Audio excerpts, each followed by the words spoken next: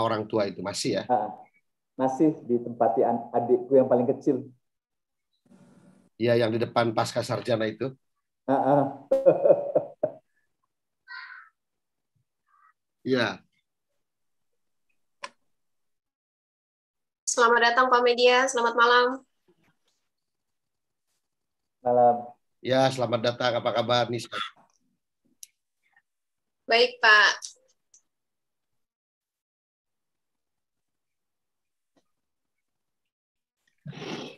Kita mulai aja, uh, Nisa nanti jam 7, satu menit okay. lagi. Satu menit lagi ya, Pak? Uh.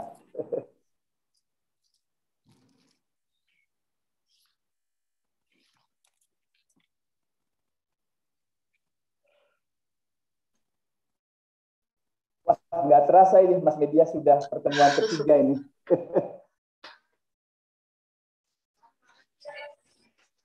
ya sudah pertemuan ketiga nggak terasa minggu depan udah yang keempat.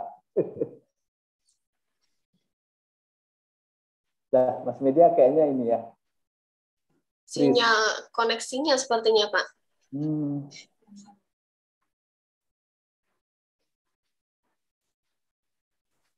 Oh, itu udah baik. Kita mulai aja ya, Mas Media. Oke, okay, baik. Ya, ya, ya. Kita ya, ya. kita mulai ya. Assalamualaikum warahmatullahi wabarakatuh. Salam sejahtera bagi kita semua. Om Swastiastu, Namo Buddhaya, salam kebajikan. Salam rahayu untuk kita semua. Selamat malam. Selamat datang kembali di kelas FSAF, Forum Studi Agama dan Filsafat yang diselenggarakan oleh Lembaga Studi Agama dan Filsafat. Kita masih berada di dalam kelas uh, filsafat perennial tentang satu Tuhan banyak agama, berfilsafat bersama Ibnu Arabi, Rumi, dan Al-Jili yang tentunya uh, seperti Jumat dua pekan kemarin kita diampu atau kelas ini diampu oleh Profesor Dr. Media Zainul Bahri yaitu beliau adalah seorang guru besar pemikir pemikiran Islam di Fakultas Usuluddin UIN Syarif Hidayatullah Jakarta. Tentunya kita sudah dengan baik mengenal Prof Media ya karena dua kali pertemuan kemarin sempat kita sudah membahas terkait pandangan filsafat Ibnu Arabi dan pandangan filsafat Rumi yang dengan menarik disampaikan oleh Prof Media pada pada kelas di FSAF ini. Tentunya di hari ini Jumat 18 Februari 2022 kita akan membahas tema yang tentunya menarik sekali juga yaitu pandangan filsafat Al-Jili yang akan disampaikan oleh pengampu kita pada malam hari ini juga akan didampingin oleh uh, Bapak Dr. Budi Munawar Rahman. Selamat datang Pak Budi. Halo Nisa, salam. Salam Pak. Selamat datang juga kepada Prof Media. Selamat datang Pak, salam. Salam, ya terima kasih. ya. Dan juga saya ucapkan selamat datang kepada seluruh peserta, seluruh partisipan Zoom kelas Forum Studi Agama Filsafat pada malam hari ini. Langsung saja tanpa berpanjang lebar, saya uh, serahkan kepada Bapak Dr. Budi terlebih dahulu untuk mengantarkan diskusi pada malam hari ini dengan tema pandangan filsafat Al-Jili. Silahkan Pak Budi. Oke, terima kasih uh, Nisa. Assalamualaikum warahmatullahi wabarakatuh. Selamat malam Ibu Bapak sekalian, teman-teman uh, peserta dari Eh, Forum Studi Agama dan Filsafat, kelas filsafat perennial. Malam ini nggak terasa kita sudah sampai pada pertemuan ketiga dari dari rencana empat. Ya, jadi kita sudah tiga per empat. Nah, eh, malam ini kita akan mengkaji satu filosof lagi. Jadi filosof, ada tiga filosof atau pemikir atau sufi yang kita bicarakan dalam kelas ini bersama Prof. Media Zainul Bahri Eh, setelah Ibn Arabi, Rumi, dan Al-Jili, eh, pada pekan depan kita akan memasuki bagaimana Prof Media akan membangun, merekonstruksi sebuah sebuah sebut saja filsafat tentang satu Tuhan banyak agama yang di Indonesia dikenal dengan filsafat perennial, satu perspektif untuk me, me, melihat hubungan antar agama dan juga membangun hubungan antar agama. Nah, Al-Jili yang akan kita bicarakan pada malam ini adalah seorang tokoh yang sangat dikenal karena dia memper, apa ya memperluas ya bahkan memperda, memperdalam juga sekaligus eh, konsep tentang insan kamil manusia sempurna yang sebenarnya itu sudah ada di dalam Ibnu Arabi kita juga bisa mendapatkan pemikiran Ibnu Arabi tentang insan kamil tapi pada Al-Jili dia menjadi sesuatu yang kemudian istilah ini menjadi sangat terkenal di, di terutama di dalam lingkungan tasawuf Uh, jadi Ibn Arabi itu mempunyai suatu konstruksi pemikiran yang nanti menjadi lebih terkenal karena dikomentari dan dikritik atau diperdalam oleh pemikir yang lain. Misalnya konsepnya tentang wahdatul wujud ya itu adalah konsep yang uh, sangat apa sangat kuat pada Ibn Arabi walaupun sudah ada juga pada pada sufi sebelumnya seperti Al-Halaj dan dan sebagainya. Tapi setelah mendapatkan komentar dari Ibn Taymiyah, konsep wahdatul wujud itu menjadi sesuatu yang banyak sekali dibicarakan dan bahkan sampai ke Indonesia. Baik, oke. Okay. Uh, eh, tidak mengambil waktu banyak, saya uh, saya persilakan pada Mas Media untuk bisa memberikan uh, pengantarnya pada malam ini. Silakan Mas. Ya, terima kasih uh, Mas Budi Munawar Rahman. Uh, Assalamualaikum warahmatullahi wabarakatuh. Waalaikumsalam. Uh, Alhamdulillah. Assalatu wassalamu ala rasulillah wa ala alihi wa sahbihi wa man wala. Uh, Bapak Ibu yang saya hormati, uh, saya harap Bapak Ibu dalam keadaan sehat walafiat semua. Alhamdulillah. Saya tadinya agak khawatir juga karena Omikron, karena Omikron hmm. merajalela gitu Uh, tapi rupanya alhamdulillah sampai pertemuan ketiga ini uh, kita semua masih bisa bertemu ya. Nah ini suara saya sudah agak jelas ya, Ibu Bapak. Ya, jelas jelas. Ya. Jadi uh, uh, Abdul Karim Al Jili ini adalah uh, seorang sama yang sudah kita bicarakan dari awal adalah teolog dan sufi ya. Jadi bukan bukan ahli yang lain tapi memang dia teolog dan sufi yang eh, nanti menghabiskan masa remaja dan ininya dan karir kesufiannya itu di Yaman ya di Zabid di Yaman. Namanya Abdul Karim Al-Jili itu beberapa beberapa penulis beliau itu mengatakan bahwa memang beliau lahir dari di kota Jilan di di Baghdad ya di Irak uh, dan konon katanya masih keturunan dari Syekh Abdul Qadir Jailani. Makanya na namanya Abdul Karim Al Jili dari uh, pihak nenek. Jadi bukan dari kakek tapi dari nenek. Jadi ada keturunan Syekh Abdul Qadir Jailani perempuan yang kemudian melahirkan eh, apa namanya ayah dari eh, eh, kakek dari Abdul Karim Al Jili jadi dari dari dari perempuan. Itu beliau eh, kalau menurut beberapa catatan lahir tahun 1365 ya. Jadi pertengahan abad ke-14 jadi kalau Ibn Arabi dan Rumi itu tahun 1200-an, abad ke-13, sebelumnya adalah Al-Ghazali itu tahun 1111, ya berarti abad ke-2 1111. Eh, ya, itu abad ke-11 ya. 1100, kemudian eh, apa namanya?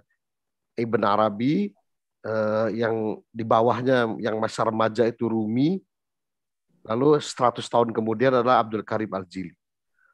Nah, eh, kayaknya sampai tahun 1200 ya, sampai masa Ibn Arabi dari masa Ghazali Ibn Arabi itu eh, belum ada tarekat, belum ada tarekat sufi ya.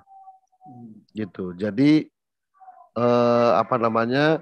Mereka masih mendalami agama itu melalui guru-guru aja gitu ya, melalui guru-guru.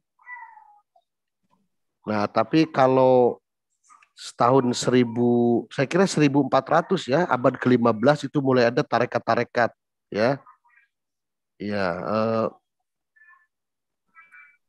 tapi eh, kalau beberapa catatan mengatakan bahwa pada masa Al-Jili ini sudah ada tarekat tahun 1200 akhir ya. Jadi Al-Jili ini lahir di Irak tapi nanti pernah berangkat dia ke Kusi India.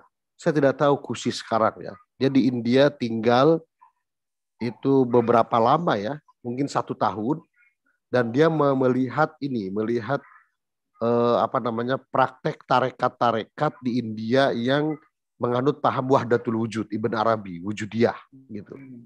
Gitu. Nah, nanti eh, Abdul Karim Al-Jili ini waktu remaja jadi berangkat ke India melalui Yaman karena waktu remaja dia diajak ayahnya tinggal di Yaman di Zabid sampai tua gitu.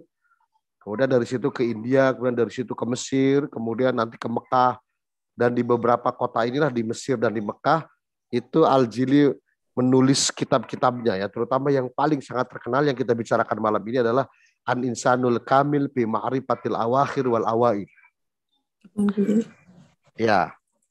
Ini adalah disertasi tentang insan kamil menurut Al-Jili ya dari Profesor Yunasril Ali.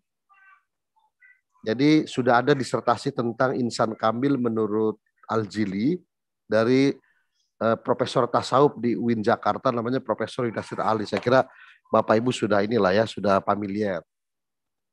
Dan Abdul Karim Al-Jili meninggal tahun uh, 1000 sekitar 1326 ya.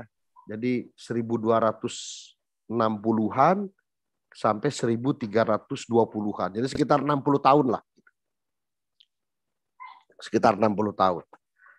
Nah, eh, Bapak Ibu semua yang saya hormati, eh, Al-Jili ini adalah tokoh sufi pada masanya dan dia disebut dengan disebut dengan Kutbudin ya. Kutbudin itu berarti poros agama. Jadi dia digelari oleh oleh murid-muridnya pada waktu itu sebagai poros agama Kutbudin. Jadi saya kira berarti dia punya posisi yang sangat tinggi ya. Kalau Al-Ghazali kan hujatul, hujatul Islam. Kalau Ibn Arabi kan Syekhul Akbar, Muhyiddin, Muhyil Haq Ad-Din gitu sebenarnya ya nama itu. Apa gelarnya dari murid-muridnya itu. Muhyiddin Ibn Arabi Ya, kemudian kalau Rumi itu adalah apa ya? Khusrau ya. Jadi apa namanya? Uh, tuan para penyair gitu. Jadi wali para penyair itu adalah Rumi. Nah, Al-Jili ini 100 tahun kemudian itu adalah Qutbuddin. Jadi karena itu tidak diragukan lagi keulamaannya sebagai teolog dan dia menulis kitab itu beberapa ada banyak ya ada ada lagi yang lain-lain yang saya tahu misalnya Gunyatul uh, Gunyatul Murid fi adabil apa gitu. Tetapi yang paling terkenal adalah yang kitab ini yang banyak dikaji adalah Al Insanul Kamil fi Ma'rifatil Awakhir wal Awail. Jadi insan kamil di dalam pengetahuan yang paling awal dan paling akhir yang tadi disebut oleh Mas Budi eh, dia melanjutkan tradisi supistiknya Ibn Arabi tentang insan kamil.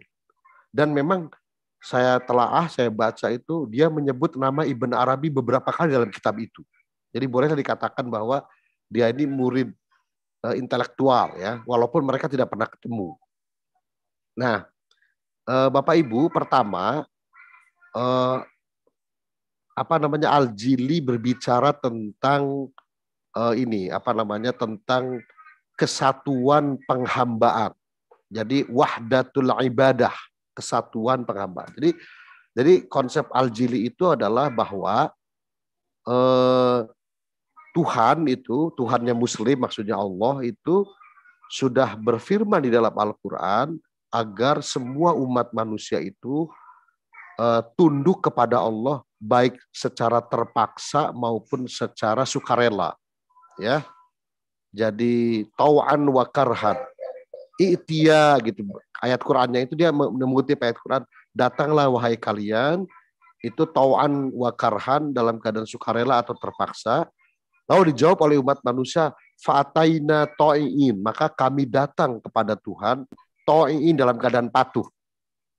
Nah, jadi kata Al-Jili, seluruh peribadatan umat manusia itu memang sudah menjadi kehendak Allah. Allah yang yang memerintahkan.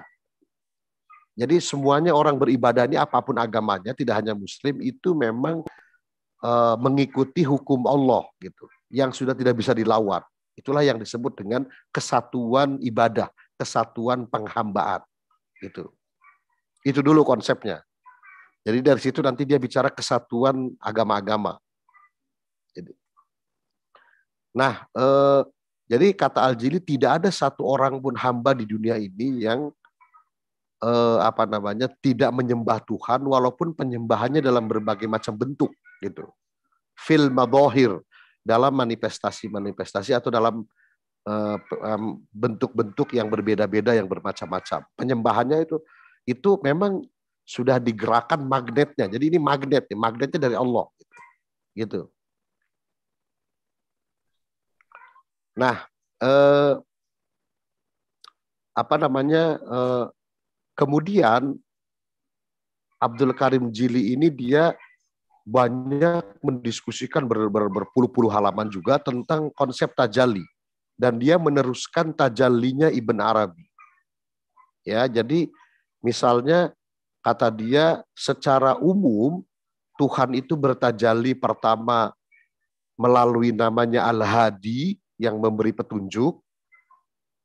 Jadi kalau ada orang itu beribadah sesuai dengan perintah Tuhan, itu dia sedang memanifestasikan atau mengaktualisasikan nama Tuhan Al-Hadi yang maha memberi petunjuk.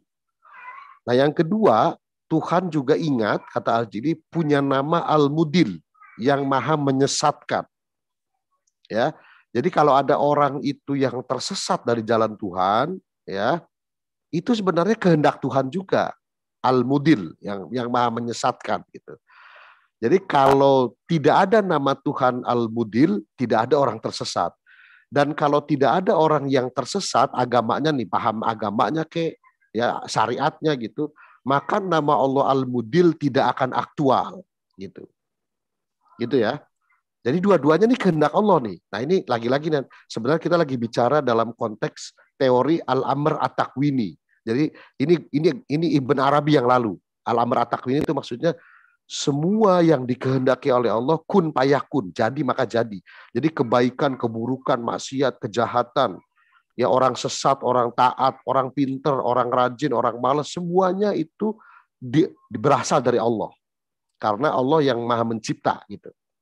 Nah, jadi dari dalam dalam konteks al-amr at-takwini kata al-jili semua orang beribadah kepada Allah karena itu sudah hukum yang tidak bisa dilawan yang kedua, kalau ada orang tersesat itu juga kehendak Allah.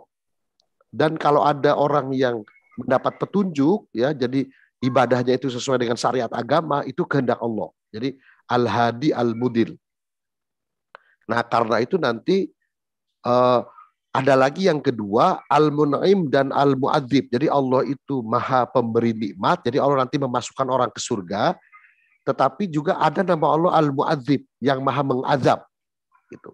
Nah, jadi kata Aljiri, nanti ada juga orang yang diadab di neraka itu kehendak Allah gitu. Karena kalau tidak ada yang diazab di neraka, maka nama Allah Al-Mu'azzib tidak aktual, tidak memanifestasi.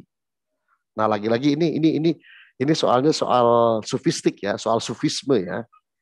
Jadi bukan hanya soal teologi ini, ini soal spiritualitas, soal tasawuf. Nah, ketika Allah menciptakan Adam, kata Al-Jili, itu eh, Nabi Adam kan mengajak orang menyembah kepada Tuhan. Tapi waktu itu ya cuma Adam dengan istrinya, lalu beranak pinak ya sampai punya cucu gitu. Itu ada mengajarkan orang cucu-cucunya itu menyembah kepada Tuhan.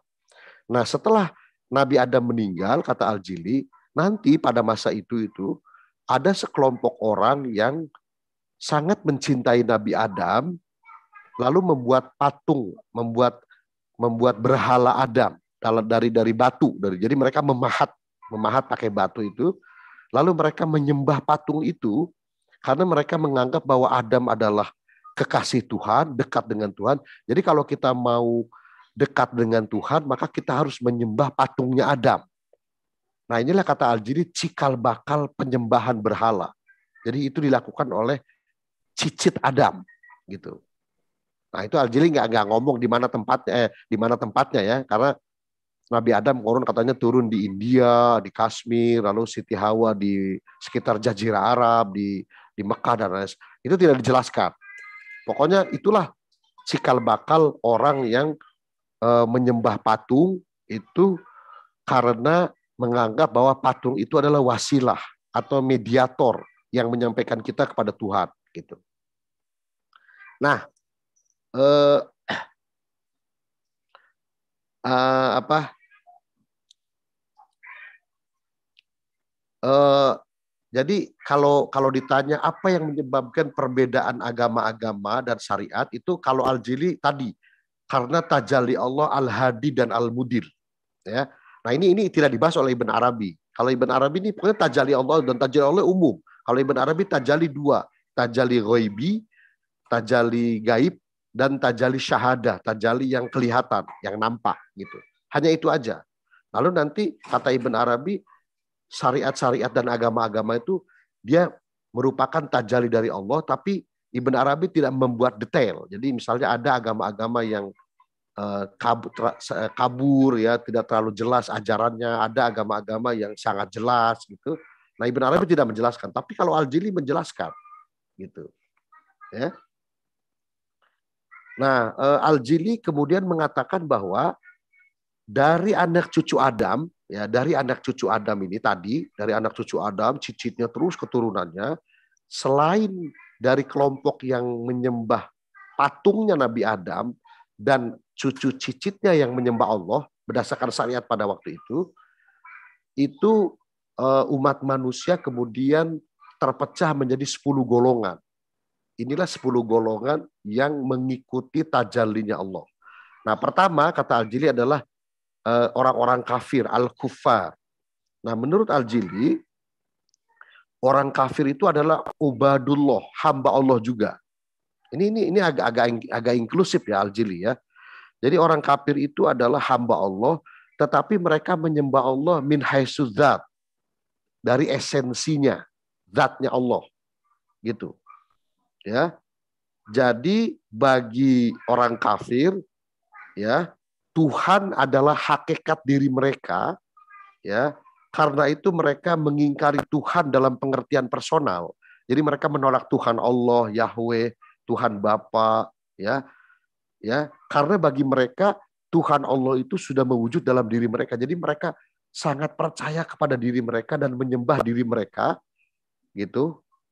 Nah, tapi tapi tapi ini interpretasi Al-Jili. Jadi maksud saya bahwa menurut Al-Jili sebenarnya mereka menyembah zat Allah. Kalau mereka nih orang kafirnya itu memang tidak mau menyembah Allah dan tidak mengakui Allah. Jadi mereka hanya percaya kepada diri mereka sendiri.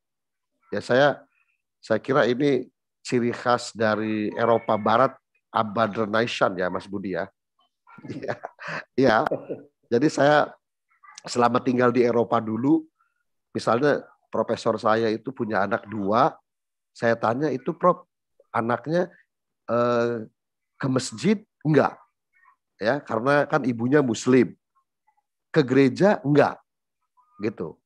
Eh, jadi mereka percaya nggak adanya Tuhan? Enggak, kata kata profesor saya, mereka hanya percaya sama diri mereka sendiri. Nah, jadi saya masih ingat. Jadi itu ciri khas Eropa Barat ya. Jadi mereka hanya percaya kepada diri mereka sendiri. Nah itu kalau kata Al-Jili sebenarnya mereka hamba Allah, tetapi mereka itu menyembah Allah min haisudat dari dari sisi esensinya Allah gitu. Nah, kalau orang beriman itu dia percaya kepada Tuhan personal, dengan cara melakukan uh, ucapan, perbuatan dan tindakan itu kepada satu Tuhan. Tapi kalau kalau enggak Nah, uh, orang kafir itu kata Al-Jili ada dua. Pertama, kaum kafir yang selalu berbuat baik, mereka nanti akan mendapat surga Allah, yaitu orang kafir yang tidak pernah uh, kedatangan nabi dan rasul. Jadi belum ada bi'sah, bi'satun nabi. Yang kedua, kaum kafir yang senang berbuat jahat, mereka akan dibalas Allah dengan neraka. Ini kata Al-Jili. Jadi orang kafir yang tidak percaya Tuhan, kaum ateis, kalau ada di grup ini, itu kata Al-Jili, kalau dia tidak pernah menerima kabar tentang Nabi dan Rasul, itu tidak akan diazab oleh Tuhan. Nah yang kedua, kata Al-Jili adalah uh, ini, apa namanya, yang kedua adalah at-tobaiyah. Jadi para penganut paham naturalisme. Ya, jadi apa tuh atau bangiyah tuh. Jadi kaum naturalis ya, kaum naturalis. Ini mereka juga beragama karena uh, kehendak tajalinya Allah. Nah, menurut Al-Jili mereka adalah hamba Allah, namun mereka hanya melihat empat tajalinya Allah, yaitu musim dingin, musim panas, musim kering, dan musim hujan. Gitu. Jadi mereka beribadah atau memuja keempat musim itu gitu. Jadi mereka mereka pokoknya bagi mereka tajali Allah tuh yang mereka tajali Tuhan, Tuhan itu mereka pahami empat empat musim itu gitu.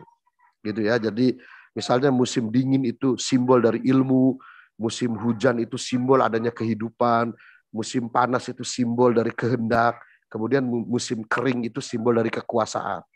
Nah, jadi mereka itu juga hamba Allah, tetapi mereka menyembah empat musim di alam ini.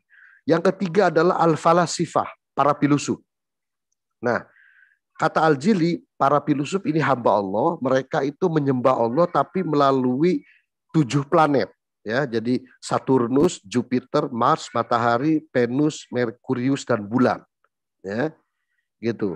Jadi menurut mereka kaum naturalis yang menyembah musim itu nggak ada faedahnya, itu sesat katanya gitu ya. Yang benar adalah menyembah Tuhan melalui jalan bintang-bintang gitu. Karena bintang-bintang itu merupakan penampakan nama-nama Tuhan. Jadi tajalli nama-nama Tuhan sendiri. Ya misalnya misalnya eh, Ar-Rahman adalah nama dari eh, planet eh, itu apa Mars. Sementara Ar-Rob adalah nama dari planet Jupiter, ya. Kemudian Al-Wahid adalah nama dari planet itu apa namanya Saturnus ya. Kemudian ada Al Wahidiyah kemudian Al Qudroh adalah nama planet dari Mars. Kemudian uh, ya jadi Venus misalnya nama planet Al Iroda Merkurius adalah nama planet dari Al Ilm jadi kalau menyembah planet-planet berarti menyembah nama-nama Allah. Yang keempat uh, kata Al Jili adalah para penyembah dualisme. Jadi uh, penyembah cahaya dan kegelapan ya. Uh, jadi uh, apa namanya Ahriman dan Ahura Mazda kalau dalam studi agama-agama ya. Jadi Ahura Mazda adalah Tuhan cahaya sementara Ahriman adalah Tuhan kegelapan. Nah, itu mereka adalah hamba Allah juga ya, tapi mereka percaya bahwa Tuhan itu terdiri dari dua kekuatan yaitu cahaya dan kegelapan. Kemudian yang kelima adalah kaum Majusi. Mereka adalah orang yang mengabdi kepada Allah tapi dari aspek hadiahnya yaitu dengan cara menyembah api gitu ya. Jadi uh, ya nah api ini sangat sangat sangat berkuasa sekali di dunia ini ya. Apa sih yang tidak bisa dihabisi oleh api? Itu semua di anak karena sangat berkuasa di dunia ini maka mereka menyembah api. Ini ini ini ini majusi dalam imajinasi Al-Jili abad ke-14 ya. Jadi bukan Zoroaster yang sekarang gitu. Nah, kemudian yang keenam adalah eh, tadi tadi berapa? Kelima kaum majusi ya. Kemudian yang keenam eh, yang keenam adalah apa nih tadi?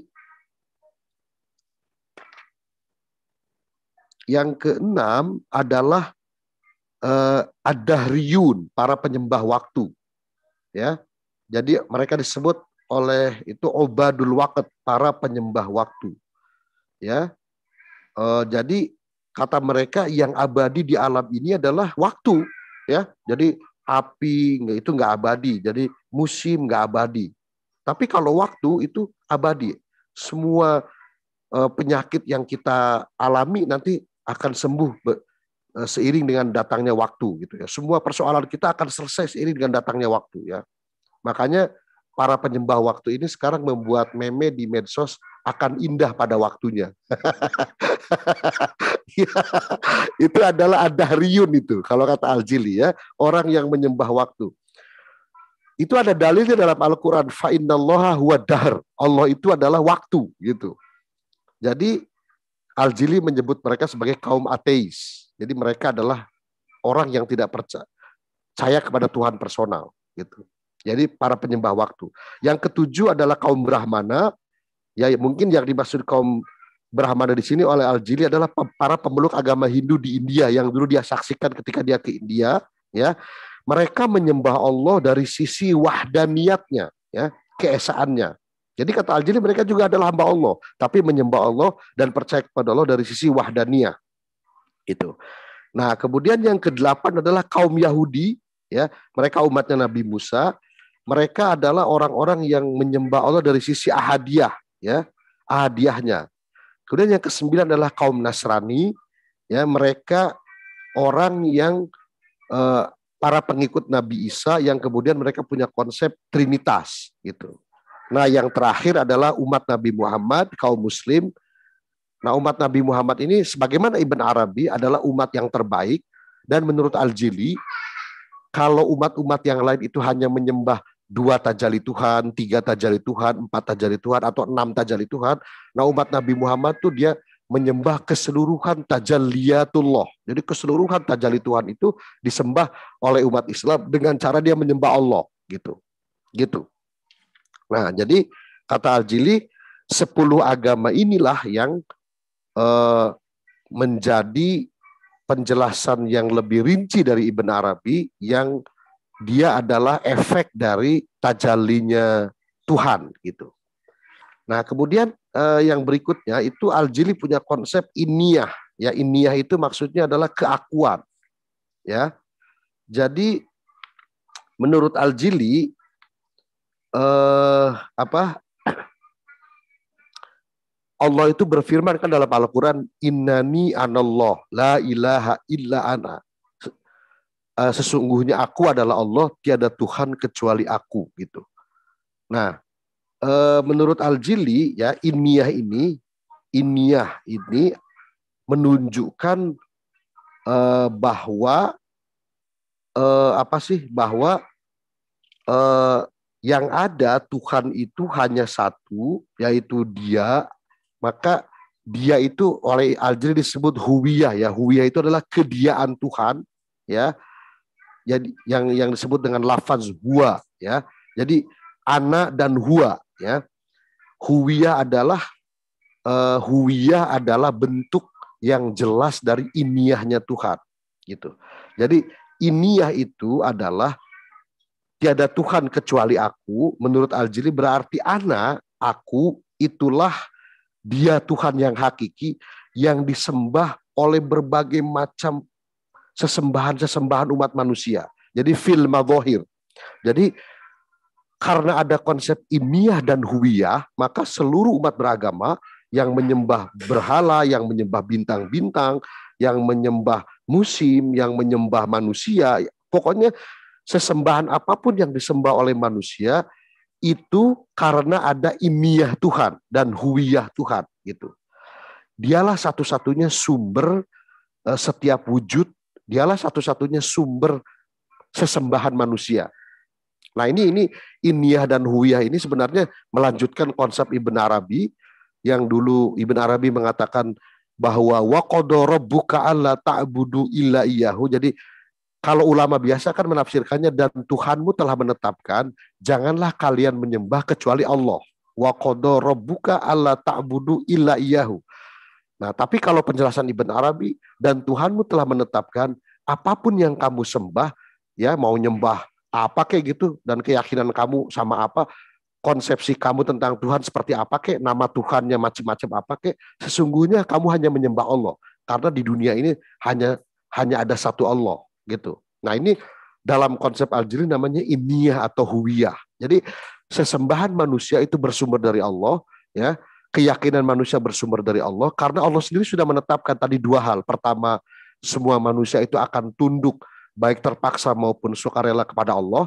Yang kedua, eh, karena ada iniyah Allah gitu. Maka apa pun yang disembah oleh manusia sesungguhnya dia menyembah eh, Allah gitu. Nah, jadi kesatuan transenden agama-agama pada Al-Jili adalah pertama pada kesatuan ibadah, ya.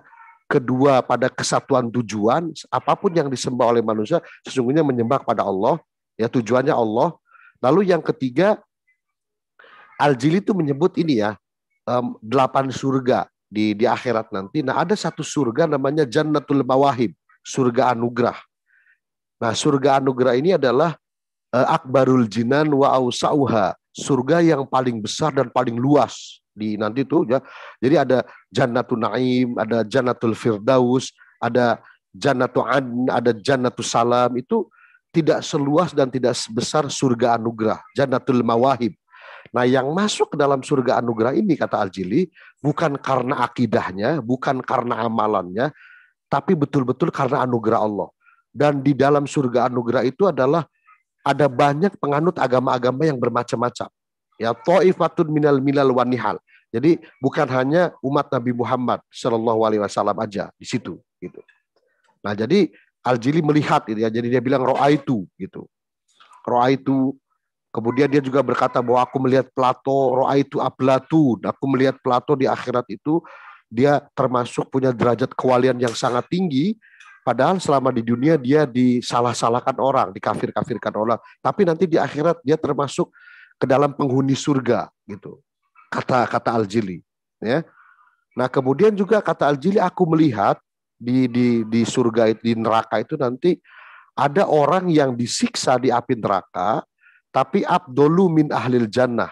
Derajatnya lebih tinggi daripada penduduk surga. Ya, kenapa? Kenapa orang yang disiksa di neraka ini derajatnya lebih tinggi? Karena kata Al-Jili dia sedang memanifestasikan nama Allah Al-Mu'adzib ya yang maha menyiksa. Jadi kalau tidak ada yang disiksa di neraka maka nama Allah Al-Mu'adzib tidak aktual gitu. Nah, karena itu ada orang yang memang ditakdirkan oleh Allah disiksa tapi derajat spiritualnya lebih tinggi daripada penduduk surga. Karena itu ketika dia disiksa dia tidak merasakan sakit, sengsara atau pedih, tapi dia merasakan ozbun. Jadi ozbun tuh merasakan nikmat, merasakan sejuk, merasakan minum yang segar-segar gitu ya. Gitu dan itu seperti orang yang kalau gatal itu harus digaruk. Jadi kalau gatal itu tidak digaruk rasanya tersiksa. Jadi ketika dia diadab oleh malaikat itu itu rasanya seperti dia menggaruk-garuk gatal dalam tubuhnya. Rasanya nikmat sekali gitu. Gitu. Nah ini kata Ibn kata Al-Jili hada amrun gorib wasirun ajib. Ini adalah perkara yang sangat asing dan ini adalah rahasia yang sangat aneh gitu. Tapi begitulah kata Al-Jili roa itu secara spiritual aku menyaksikan semua peristiwa di alam gaib sana. Nah saya kira itu uh, sementara uh, pengantar saya Mas Budi ya. Jadi kita masih membincangkan secara tradisional pandangan ketiga sufi ini, pandangan-pandangan tradisionalnya ya. Jadi nanti saya, kita berharap minggu depan kita akan mendiskusikan uh, kontekstualisasinya dengan sekarang, dengan umat beragama, dengan lintas agama dengan dialog antar agama. Jadi perennialisme dan dialog antar agama dan lain-lain. Jadi eh, pada pertemuan ketiga ini penting bagi saya me, me, menyajikan teks-teks asli dari ketiga sufi dulu supaya kita bisa paham secara utuh pemikirannya. Demikian Mas Budi. Terima kasih. Terima kasih Mas Media. Uh, pasti ada yang banyak hal yang menarik yang mungkin uh, ibu bapak sekalian teman-teman ingin tanya pada Prof Media. Cuma mungkin saya ingin ingin minta penjelasan satu hal ya dari, uh, dari ya. Mas Media ya. tentang insan kamil ya. Insan, insan kamil, kamil sangat terkenal itu belum dielaborasi. Barangkali Mas Media bisa mengelaborasi uh, apa sih sebenarnya insan kamil itu ya? Ya. Itu konsep konsep tentang manusia sempurna atau uh, kalau di tradisi Kristen di, dikenal dengan imago Dei ya. yang ini ini menjadi sepertinya sentral ya di dalam tasawuf ya. Jalan tasawuf adalah untuk mencapai pada derajat yang paling tinggi kan insan kamil. Nah, dan konsep ini kelihatannya dari Al-Jili ininya, konsep yang apa ya yang uh, elaboratifnya itu dari Al-Jili. Walaupun ya. sudah ada tentu sebelumnya ya di, di Ibnu Arabi. Kalau menurut siapa itu orang Jepang yang ya. yang uh, dia kan menulis tentang insan kamil. Ya, ma ma Masetaka Takasita. Ya. ya. ya. Atau mungkin uh, Pak Yunasril Ali juga. eh, insan kamil ini kalau menurut eh, apa namanya menurut Abdul Karim Al Jili itu eh, dia berangkat dari konsep khalifah ya. Jadi manusia itu adalah khalifah di dunia ini. Eh, nah, tetapi ada khalifah eh, maknawiyah ya. Jadi khalifah eh, dalam pengertian esensial. Jadi Al-Jili menyebutnya khalifah maknawiyah ya. Dan ada khalifah eh, apa namanya madhariyah gitu. Jadi penampakannya. Jadi insan kambil penampakan jasadnya, penampakan materinya. Penam, ya, apa namanya manusia sebagai jasad, tapi ada manusia sebagai uh, khalifah ma'nawiyah. Nah, kalau sejauh yang saya pahami, Al-Jili itu punya konsep wahdatus syuhud. Jadi wahdatus syuhud itu adalah kesatuan penyaksian. Nah, insan kamil insan kamil versi Al-Jili itu adalah orang yang sudah berada pada makom wahdatus syuhud. Dia menyaksikan Allah pada semua ciptaan Allah gitu. Jadi jadi ini sangat sangat ini ya sangat teologis ya. Jadi enggak, jadi lagi-lagi ini konsep tasawuf sih ya. Jadi kita nggak bisa menariknya ke ranah sosial. Pokoknya ya kalau ranah sosialnya ya orang orang yang banyak orang yang mencintai manusia, menghormati orang, menyayangi orang, menyayangi alam semesta gitu. Nah kalau kalau bagi Ibn Arabi yang disebut insan kamil itu adalah eh, tentu saja bagi Ibn Arabi dan dan Al Jili insan kamil itu adalah Nabi Muhammad ya Nabi Muhammad. Nah tapi kalau kalau bagi Ibn Arabi yang disebut insan kamil itu kan ahlullah orang yang sudah um, mengikuti seluruh sifat-sifat dan nama Allah. Jadi makanya laku bi akhlaqillah kalau kata Ibn Arabi. Jadi berakhlak kalian dengan akhlak Allah. Akhlak Allah itu mana? Yaitu yang yang yang Asmaul Husna yang 99 gitu. Jadi kalau orang sudah mempraktekkan Asmaul Husna yang 99 itu itu dia disebut insan kamil. Tapi kalau kalau kalau kata Al-Jili insan kamil itu lebih daripada itu yaitu dia apa namanya siddiqiyah dan syuhudiyah gitu. Jadi Sidiqiyah itu apa ya? Sidiqiyah itu uh, orang yang uh, jujur di hadapan Allah. Uh, dia berada pada makom yang yang lurus, maksudnya lurus jujur. Ya lurus jujur itu berarti seumur umur dia tidak pernah berbohong, tidak pernah culas, tidak pernah berkhianat kepada dirinya sendiri gitu, apalagi kepada orang lain.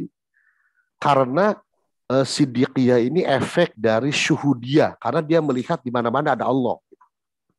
Jadi dia melihat apa pun melihat Allah. Jadi dia dia uh, sangat apa ya? Kalau dalam makomat itu dia ada pada makom murokobah. Jadi merasa diperhatikan oleh Tuhan gitu. Jadi merasa diperhatikan oleh Tuhan. Itu ibarat ibarat uh, kalau kalau orang orang pada makom ini kalau dia mau melakukan dosa itu ibarat di depannya itu dikasih makanan yang beracun. Gitu. Nah, kalau kita kan melakukan dosa enteng-enteng aja nih, karena kita tidak melihat dosa itu sesuatu yang beracun. Tapi kalau orang yang pada makom ini, ketika dia akan melakukan dosa itu persis dia melihat makanan yang beracun. Karena itu kalau dia kalau dia makan mati gitu. Atau atau kalau digambarkan oleh Murtado Mutohari itu orang yang berada di apartemen lantai 20 jadi kalau dia mau melakukan dosa itu persis dia melihat dia harus loncat ke bawah. Dan itu mustahil. Karena itu mereka berusaha semaksimal mungkin tidak minum racun dan tidak loncat dari lantai 20 gitu. Nah, orang kalau sudah bisa membiasakan dirinya itu menjauhi dari maksiat gitu, ya, lalu kemudian dia melihat penampakan Allah di mana-mana, lalu lalu terutama kalau kata Al-Jili dan Ibn Arabi, terutama dia mau melihat sifat Rahman dan Rahim Allah. Karena bagi mereka, bagi mereka kedua, itu Rahman dan Rahim Allah lebih dominan daripada murkanya. Jadi karena itu hati mereka lembut gitu kan, pemaaf, penyayang gitu. Nah itu itulah insan kamil gitu kira-kira begitu. Jadi siddiqiyah, syuhudiyah, khalif, uh, khalifah ma'nawiyah gitu.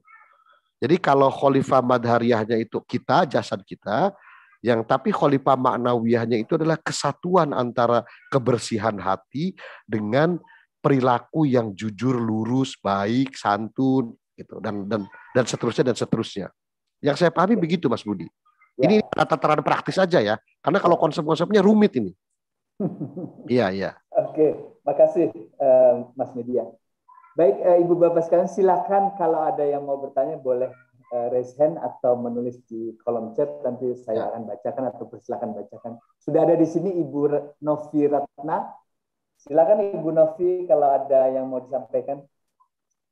Ya, silakan Bu. Assalamualaikum. Waalaikum, uh, Waalaikumsalam warahmatullah. Uh, saya tertarik dengan penjelasan Al-Jili mengenai uh, orang-orang yang menyembah Allah melalui bintang-bintang. Ya, para filosof. Nah, eh, apakah konsep menyembah Allah melalui bintang-bintang itu itu ada kaitannya dengan uh, emanasi, Mas?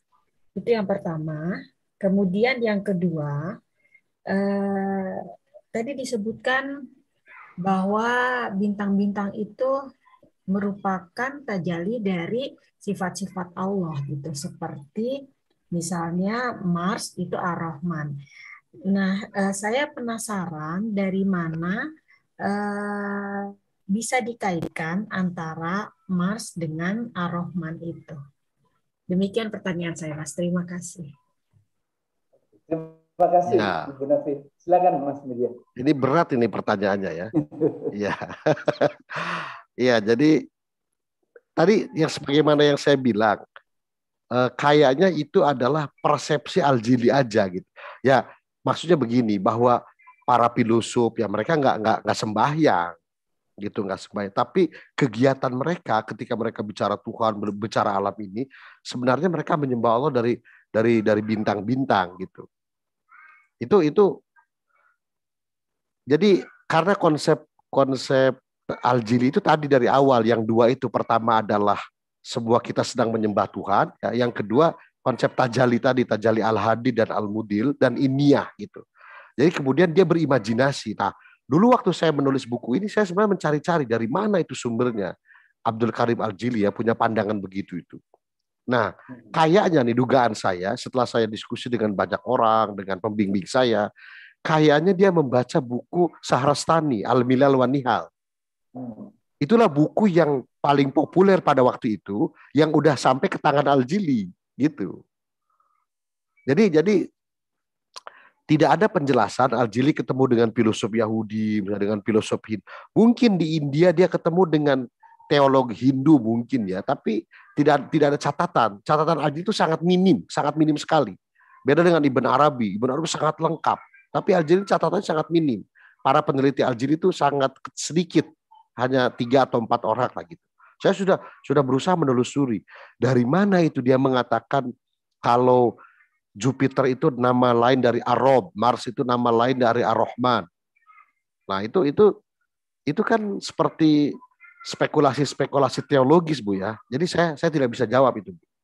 Nah, tidak bisa jawab saya. Jadi dari mana itu? Apakah dia meneliti planet eh, pada waktu itu kalau planet Mars itu penuh dengan kasih sayang sehingga namanya Ar-Rahman gitu. Itu makan sekarang nah yang resi bintang-bintang itu yang yang Scorpio, yang apa tuh? apa tuh itu? Nah itu itu mirip mungkin sekarang ya. ya. tapi tapi tapi kalau betul itu yang sekarang itu seperti itu berarti sebenarnya sudah ada presidennya pada masa Al-Jili gitu. Nah, tapi Al-Jili pasti nggak menganut paham emanasi ya. Enggak, enggak. Jadi itu itu itu enggak ada hubungannya dengan emanasi, Bu.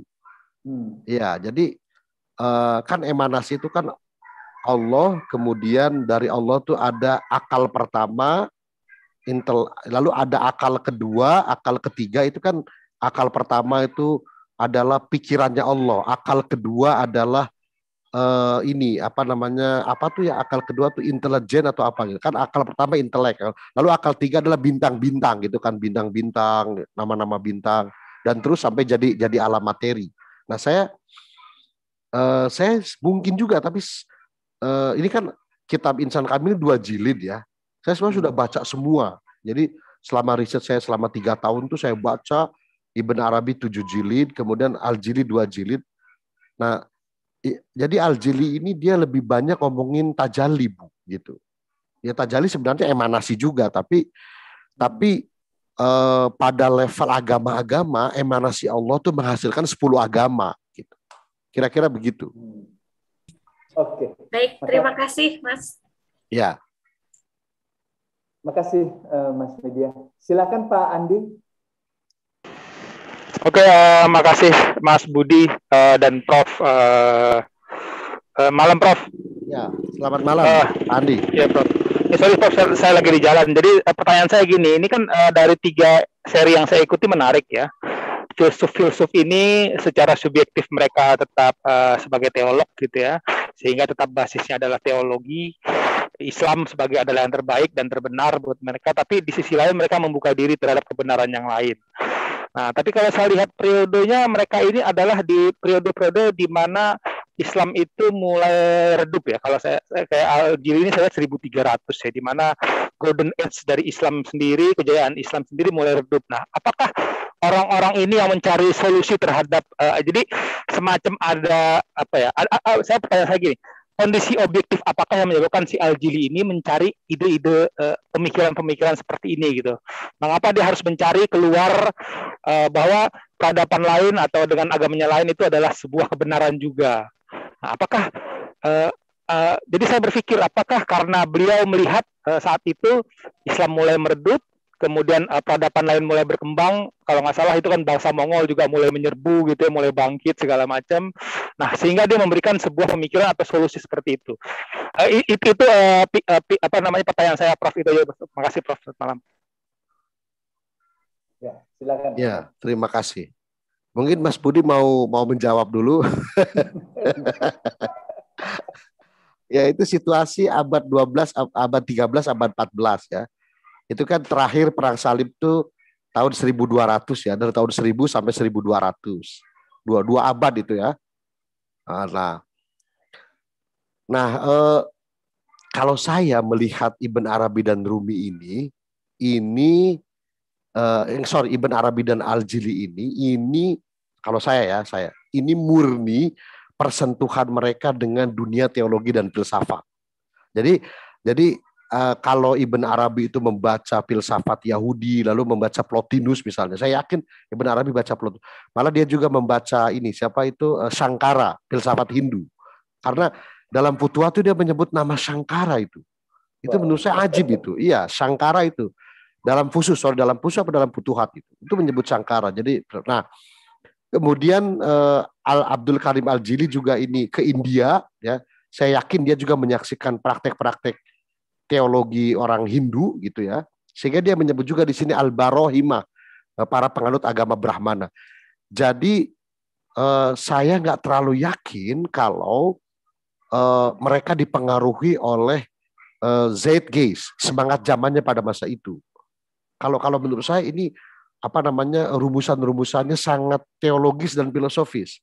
Itu mirip dengan Al Ghazali ketika perang salib itu enggak terpengaruh apa-apa, dia tetap nulis Ihya Ulumuddin yang isinya tuh sabar, tawakal, ikhlas gitu. Jadi bayangkan itu Al Ghazali nulis Ihya itu padahal lagi berkecamuk perang gitu kan, perang salib itu. Enggak terpengaruh gitu. Nah, jadi uh, jadi jadi begini, saya Pak Andi ya, saya sebagai peneliti itu uh, kan mencari hubungan-hubungan, korelasi-korelasi. Kalau dalam teks, jadi teks lalu saya mencari teks-teks yang lain yang berhubungan interteks. Saya tidak menemukan. Kalau jadi saya tidak bisa langsung membuat kesimpulan bahwa kecuali kalau ada kata-kata Spanyol misalnya. Aljili itu menyebut nama Spanyol, Aljili menyebut nama uh, ini nama apa namanya nama uh, atau Aljili itu membuat catatan tentang bagaimana Mongol misalnya pada waktu itu atau bagaimana Islam sudah terdesak misalnya pada waktu itu. Nah, itu jelas itu ada sumber yang yang eksplisit. Nah, karena tidak ada catatan ini, maka saya mengandalkan kepada para orientalis barat yang mengkaji Al-Jili. Nah, itu mereka eh, hanya mengatakan bahwa eh, Al-Jili adalah masuk dalam lingkaran teologis dan filosofis yang masih ada sisa-sisanya pada waktu itu dari keemasan Baghdad dan Spanyol. Baghdad kan tahun 900, 900 ribu. Itu sisa-sisa sisa-sisa ilmu pengetahuan dan filsafat itu masih bisa dirasakan oleh oleh Al-Jili gitu. Nah, saya saya tidak tahu persis ya kalau uh, Philip Hitti itu History of Arab ya tahun tahun 1250 kalau nggak salah atau tahun 1270 abad 13 itu mulai terjadi penerjemahan besar-besaran teks-teks Arab ke bahasa Latin ya gitu. Nah, uh, itu itu itu kan tapi itu terjadi di Spanyol ya di di Eropa di Eropa mana tuh Eropa Selatan gitu. Nah, eh, saya tidak tahu hubungannya dengan Aljili gitu. Jadi saya tidak bisa pastikan Mas Adi ya. Saya tidak saya tidak bisa memastikan apakah itu mereka karena gini wawasan terbuka itu bukan hanya Aljili. Jadi tahun 800 tahun 900 para filosof muslim itu sudah mengakui filsafat dan agama-agama lain. Kalau kita baca Renaissance Islam ya, uh, siapa itu uh, yang ter, yang diterbitkan Mizan itu itu jelas. Kalau kita baca buku-buku Philip Hitti, buku-buku uh, tentang bagaimana Islam masa Baghdad dan Islam masa Spanyol itu mereka sudah uh, sudah liberal, sudah liberal, sudah sekuler gitu loh maksudnya. Jadi uh, tidak ada uh, tidak ada urusannya dengan keterdesakan Islam gitu. Gitu gitu. Uh, Mudah-mudahan Pak Andi tidak puas cukup, dengan cukup. jawaban saya ya. ya, so, so, ya cukup Prof itu aja dulu Prof. Makasih Prof. Ah, ya, ya, ya. Oke, terima kasih eh, Pak Andi dan Mas Media. Di kolom kalau nggak ada lagi yang raise hand di kolom chat ada mungkin Pater Henry. Silakan Pater Henry kalau mau bicara.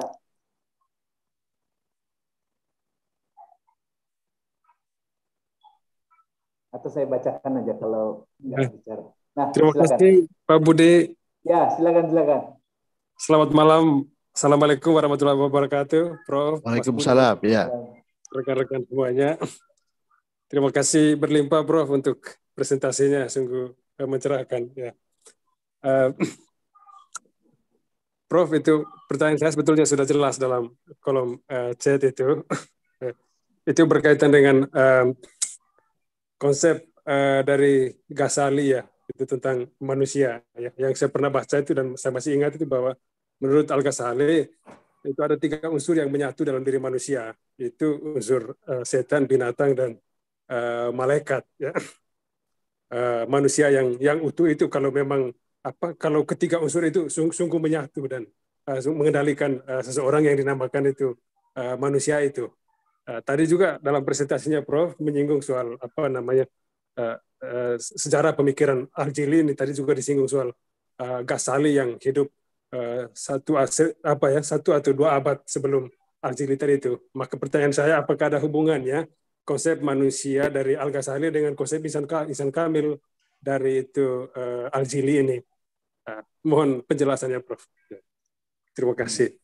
Ya, kalau kalau berhubungan pasti berhubungan karena Ibn Arabi sendiri sebenarnya mengutip uh, Ihya Ulumuddin, mengutip Ghazali ya. Futuhat Makkiyah itu mengutip Ghazali. Kemudian saya juga yakin bahwa Al-Jili itu kan dia ulama besar pada masa dia membaca banyak kitab termasuk Ghazali gitu. Nah, tapi mungkin insan kamilnya Al-Jili itu adalah sosok manusia yang dia sudah melampaui setan, beyond gitu. Itu kan itu kan ada malaikat, binatang, setan. Mungkin eh, apa namanya? Tapi ini ini ini sebenarnya kan terminologi tasawuf ya. Jadi insan kamil menurut tasawuf itu berbeda dengan insan kamil dalam rumusan kita sekarang gitu. Jadi ya pokoknya manusia sempurna itu adalah manusia yang bisa uh, memanifestasikan nama-nama dan sifat Tuhan dan Nabi Muhammad gitu aja sudah gitu. Jadi dan dan berarti kan mereka yang menjauhi setan, yang bisa mengalahkan setan dalam dirinya. Nah, Al Ghazali itu kan membuat satu pembahasan namanya Al Muhlikat ya, hal-hal yang menghancurkan.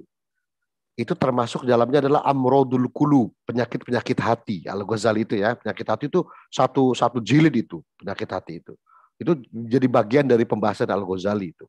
Nah, ya insan kamil itu ya kalau Al Jili ya udah lewat dari amrodul kulub gitu. Orang yang udah melampaui amrodul kulub penyakit hati.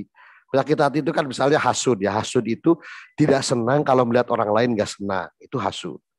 kalau ujub itu ijabul mar'i an nafsi. Jadi ya ujub itu artinya dia terheran-heran kepada kehebatan dirinya. Oh, saya hebat banget ya. Jadi saya merasa hebat banget gitu loh. Nah, adik kandungnya ujub itu takabur. Takabur itu merasa lebih besar dari orang lain. Jadi saya lebih besar dari orang lain. Jadi ujub takaburnya adik kakak nih ya. Jadi merasa hebat, dia terkagum-kagum kepada dirinya, lalu merasa lebih hebat dari orang lain. Itu penyakit hati tuh. Lalu ada lagi sum'ah. Sum'ah itu sum'ah dengan ria adik kakak. Sum'ah dengan ria itu adalah pamer. Kalau sum'ah ngomong-ngomongin kebaikan-kebaikan kita sendiri. Saya, saya. Wah pokoknya saya, wah kalau nggak ada saya tuh nggak jadi itu. Saya, saya, oh, pokoknya saya aja. Kalau ngobrol tuh dengan orang itu sayanya sampai seratus kali disebut saya. Saya, saya, saya. Wah kalau kalau nggak ada saya itu nggak mungkin kamu ini. Wah itu sum'ah itu. Nah ini penyakit hati itu yang mau dihabisi oleh Al Ghazali. Gitu. Nah ya insan kamil tentu saja orang yang udah melewati ini. Tapi tapi tapi pertanyaan saya apa ada insan kamil ya? Selain Nabi Muhammad apa ada insan kamil gitu maksud saya oh, umat manusia gitu. Juga bertanya seperti itu bro. Iya apa ada insan kamil tuh? Saya kira para su para sufi juga sama begitu kadang-kala kan suka saya saya gitu kan. Kemarin ada orang tuh ada orang tuh yang sakitnya itu udah berobat ke 50 dokter gak sembuh-sembuh. Datang ke saya, saya kasih air sembuh nih. Ah itu up, ya kita tidak tahu ya apakah itu ijab ujub atau itu dia uh, mensyukuri nikmat Allah gitu. Tapi tapi saya sering datang ke kiai begitu. Kiai tarekat kayak sama aja. Saya sering datang tuh ke kiai-kiai, ke ulama-ulama. Seringnya mau saya, saya, saya gitu. Jadi insan kafir ini hanya mudah diomongkan ya. Apa apa mudah itu? Itu Pak Hendrik ya. Uh, jadi kita jadi kayak pengajian ini. saya minta sedikit Prof waktunya. Ya. Uh, itu saya teringat analogi uh, manusia dari Ghazali juga itu Prof. Itu bahwa manusia itu seperti apa ya? Seperti sebuah kota ya. Ya. Di mana um, yang menjadi raja dalam kota itu adalah uh, hati itu atau uh, kalbu ya Uh, tadi ketika mendengar uh, presentasi Prof mengenai Insan Kamil, saya sempat berpikir bahwa oh mungkin Insan Kamil yang dimaksudkan itu adalah manusia yang sungguh dikuasai atau dikendalikan oleh oleh hatinya itu atau kalbu itu. Uh, seperti itu Prof. Tadi saya sempat berpikir begitu. Iya, iya, iya.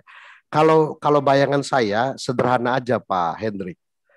Uh, gini, kalau kalau secara spiritual ya, insan kamil itu mungkin orang yang uh, apa namanya kualitas spiritualitasnya lebih dominan daripada aspek materinya dalam tubuhnya. Jadi aspek materinya atau hawa nafsunya itu resesif, yang dominan adalah aspek spiritualitasnya. Mungkin itu kalau menurut saya. Baik. Ya makanya kalau dalam Al-Qur'an itu kan ada ayat malaikat itu eh, pada Ramadan pada bulan Ramadan itu kan turun ya naz apa uh, turun nanti turun sepertiga malam lalu nanti dia naik lagi ya surat Inna anzalna fi lailatul qadar tanazzalul malaikatu waruhu fiha. Jadi malaikat turun ke alam bumi ini lalu nanti dia menjelang subuh naik lagi ke atas. Bagaimana mungkin itu eh, apa namanya jutaan kilometer itu bisa ditempuh dalam waktu sekejap ya karena malaikat itu kan makhluk ruhani makhluk spiritual nah orang kalau apa namanya kualitas spiritualnya resesif dan aspek materinya itu eh, kualitas spiritualnya dominan, aspek materinya resesif, saya, saya kira akan seperti itu. Jadi dia uh, akan ini kan akan sesuai dengan hadis Nabi itu yaitu tadi kalau dia berbicara dia berbicara meminjam lidah Allah kalau dia berlari atau berjalan kakinya kaki Tuhan kalau dia memegang tangan tangannya tangan Tuhan itulah konsep wali dalam Islam atau orang suci ya gitu kira-kira Oke. Terima kasih banyak, Bro. Sampai bertemu ya. di ruang, ruang kuliah ya, ya. nanti. Ya, terima kasih. Ya, terima kasih. Terima kasih, Pak Hendrik. Uh, saya lanjutkan yang dalam chat dulu ya, Mas Media.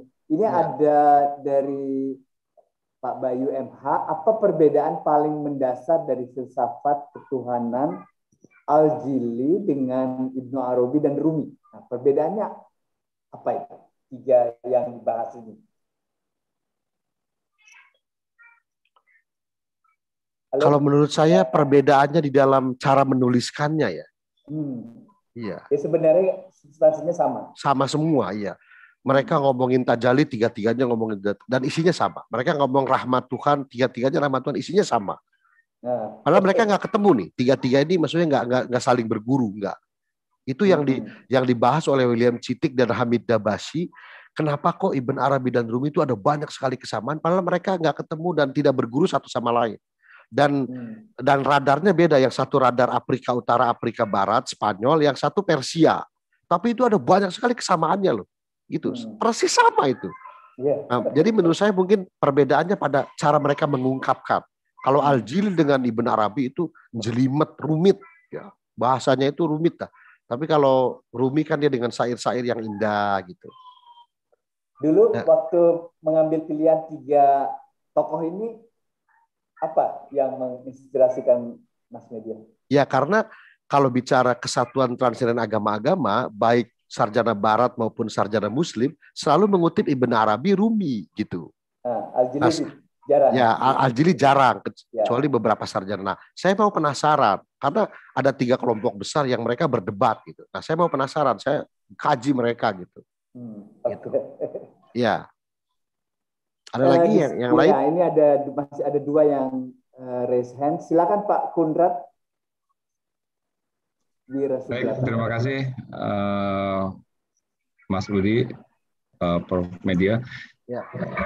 Ada pertama itu tentang apa kisah tadi itu ya bahwa ada orang yang disiksa di dalam neraka padahal dia punya kualitas spiritual melebihi ahli surga kan seperti itu tadi. Uh, saya ingin bertanya tentang implikasi etis dari uh, apa apa uh, persepsi ini gitu ya. Artinya uh, kan sama aja kita mau ibadah mau tidak kita juga tidak tahu apakah nanti masuk surga atau masuk neraka. Toh Tuhan harus membuktikan bahwa dia ada sang maha penyiksa, jadi harus ada orang yang disiksa itu untuk membuktikan bahwa nama itu betul. Jadi ya, ya. Uh, semacam uh, apa ya? Itu implikasi logis dari apa yang disampaikan oleh uh, Prof Media tadi. Uh, itu satu. Yang kedua, saya jadi ingat ya tentang tulisannya Weber itu tentang apa etika Protestan dan spirit kapitalisme itu kan itu uh, dia merefer kepada teologinya Calvin ya kan ya. artinya kita nggak tahu ya whether we are damned or whether we are blessed eh, itu kan tapi ada karakter-karakter tertentu di antara orang-orang selamat yang bisa kita tiru kemudian kita emulasi dalam hidup ini dan mudah-mudahan kita kalau sudah mirip dengan hidup orang yang selamat maka kita pun akan selamat gitu kan Eh, jadi saya lihat agak bingung juga ini. Di satu sisi eh, apa adanya ada semacam keberserahan diri gitu ya yang sedemikian eh, mendalam tapi di sisi lain juga ada upaya sebetulnya Tuhan selamatkanlah gitu kan tapi kalau kita semua selamat Tuhan tidak terbukti sebagai yang maha um, gitu jadi uh, gimana? Susah juga nih ya, uh, Prof. Med. Ya. Itu aja. Terima kasih. Terima kasih Pak Kundrat. Ya, ya terima kasih uh, Pak Kundrat ya. Ya kalau kalau agama kan ada standarnya, standarnya menjalankan perintah Tuhan gitu. Itu kan standar gitu. Al-Jili dengan Ibn Arabi juga banyak membahas soal itu. Jadi kita harus mengikuti perintah Tuhan misalnya gitu perintah Tuhan, mereka selalu menyandarkan kepada kitab suci. Nah, kitab suci itu mengatakan e, begitu, termasuk uh, kasih sayang Tuhan itu dekat kepada orang-orang yang suka berbuat baik. Inna rahmatullah qaribun minal muhsinin. Jadi kasih sayang Allah atau rahmat Allah tuh dia sebenarnya akan sangat dekat kepada orang yang suka berbuat baik. Walaupun ini tidak pasti, yang tadi Pak Kunrat sampaikan tidak pasti juga, ya. Karena nanti dalam teologi Sunni abad pertengahan itu ada uh, pandangan bahwa Tuhan itu uh, punya hak untuk menyiksa orang baik dan memasukkan ke surga orang jahat. Itu Abu Hasan Al Asari, Al Bakilani, Al Ghazali itu juga membahas itu tuh di abad pertengahan. Ini yang lagi saya tulis sekarang. Jadi uh, jadi tuh jadi Tuhan itu dia tidak bisa disebut zolim kalau dia tidak menepati janjinya. Tidak bisa disebut jahat kalau dia menyiksa orang yang baik gitu. Nah, tapi itu kan kekecualian-kekecualian. Itu umumnya jalurnya adalah jalur agama, gitu. jalur jalur perintah agama. Gitu. Nah makanya tadi Al-Jili mengatakan ini adalah rahasia yang rumit dan perkara yang asing. Hada sirun gorib wa amrun ajib. Jadi ini perkara yang sangat rumit dan asing.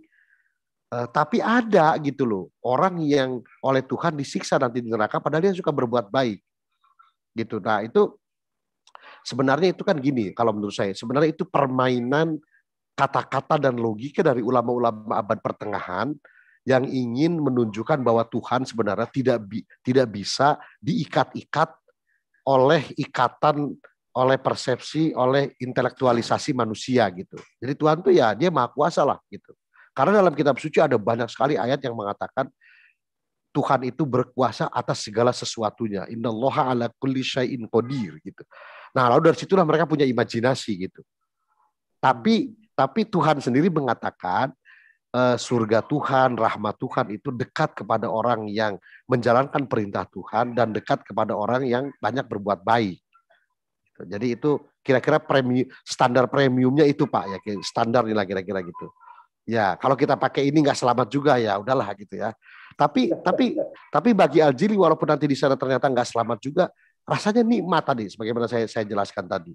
Itu itu kayaknya baru Aljili yang menjelaskan itu lama abad pertengahan itu yang mengatakan disiksa di neraka itu rasanya nikmat itu. Ya itu. Ah. Ya okay. gitu Pak ya. Kalau boleh Mas Budi saya follow ya. up sedikit aja. Ya, ya. ya. Silakan, silakan. Jadi ini eh, saya teringat kembali dengan kuliah Prof Media minggu lalu ya tentang bahwa eh, secara agama atas syari syariah itu kan baik Rumi ataupun eh, Ibn Arabi itu kan Eh, bahkan punya kualifikasi di bidang fikih kan? Ya, ya. Nah, saya jadi ingin bertanya, di sisi, satu sisi mereka adalah orang-orang yang punya kualifikasi seperti itu, di sisi lain juga mereka sudah mencapai tahap evolusi yang selanjutnya ialah ke level spiritual yang lebih tinggi. Pertanyaan saya itu eh, bagaimana ya um, artikulasi gitu artikulasi dari dua kualitas ini di dalam eh, pemikiran-pemikiran uh, fikih mereka gitu. Karena kalau fikih itu kan jelas-jelas sangat fisikal gitu. Ya. Jadi maksudnya maksudnya artikulasi apa, Pak? Ya maksud saya pendapat-pendapat mereka itu seperti apa? Karena kan mereka di satu sisi mereka sangat yakin dengan dua, dua hal yang berbeda ini. Ya kan? Ya, uh, ya. di satu sisi syariah itu kan sangat sangat empirik sangat positif itu kan? Di sisi ya, lain ya. yang sifatnya intuitif dan segala macam itu itu ada dunia yang berbeda gitu. Iya iya jadi jadi jadi mereka memang menulis dan mengartikulasinya secara berbeda pak. Jadi nah, ketika ngomong fikih ketika ngomong hukum hukum agama mereka ketat itu pokoknya ketat itu mereka ngomong hukum agama itu tapi nanti ketika ngomong aspek ini ihsan yang ngomong aspek supisme. Nah ini di sini ada hal-hal yang aneh-aneh gitu.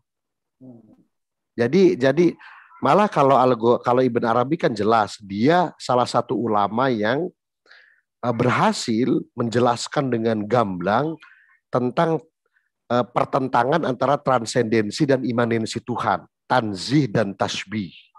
Itu Ibn Arabi itu. Jadi Tuhan itu jauh tidak dikenal, tidak serupa dengan makhluk, Pokoknya dia sama sekali tidak sama dengan makhluk, tidak bisa diimajinasikan, tidak bisa dipersepsi, tidak bisa diintelektualisasi gitu. Tapi pada saat yang sama dia juga kemudian memperkenalkan dirinya dan dia imanen bersama kita. Gitu kan. Nah, ini penjelasan ini nggak bisa. Jadi menurut saya penjelasan ini tidak bisa dijelaskan oleh fikih, Pak. Jadi jadi fikih atau hukum agama itu hanya tata cara kita beribadah itu aja. Jadi pokoknya ini syarat, ini rukun, ini batal, ini tidak batal. Ini har, ini yang sudah jelas-jelas haram, ini yang boleh gitu. Nah itu itu syariat. Tapi tapi ini kan orang kan nggak puas kalau hanya sampai di sini. Kemudian dia punya artikulasi lain eh, pada level-level sofistik, teologis dan filosofis. Gitu. Jadi kalau ditanya bagaimana artikulasinya, mereka mengartikulasinya bersama-sama. Mungkin tergantung audiensnya Pak. Ketika dia ngajar kepada orang-orang awam, jadi dia hanya ajarkan yang fikih-fikih aja dulu gitu. Nanti ketika murid-muridnya sudah pada level yang tinggi, dia akan ajarkan yang ini gitu. Kayaknya begitu Pak kayaknya. Karena karena kitab suci sendiri begitu isinya dua. Ya, tadi yang saya bilang al-jam'u bainal a'dad, Tuhan sendiri begitu. Jadi gimana tuh ya? Apa apa namanya tuh ambigu atau paradoks gitu. Nah, akhirnya akhirnya melahirkan para pembaca kitab suci yang sama-sama ambigu dan paradoks. gitu. Jadi kita ini pembaca kitab suci ini sebenarnya korban dari ambiguitas dan paradoksitas kitab suci gitu. Akhirnya pandangan kita begini ya kadang kala galak, ya kadang kala sangat lembut gitu. Gitu. Gitu dan Pak yang, Pak Kudrat ya. Dan yang Terima kasih menarik, Prof. Yang ya. menarik uh, Mas Media uh, Baitul Al-Imdad ini sesuatu yang melampaui cara berpikirnya orang Arab ya. Ya, cara berpikir yang dualistik. dualisme. Ya, jadi jadi, jadi orang orang Arab itu kan berpikirnya kata kata Abid Jabiri kan selalu dualistik. Jadi langit dan bumi, baik dan buruk, laki-laki dan perempuan, hitam dan putih gitu.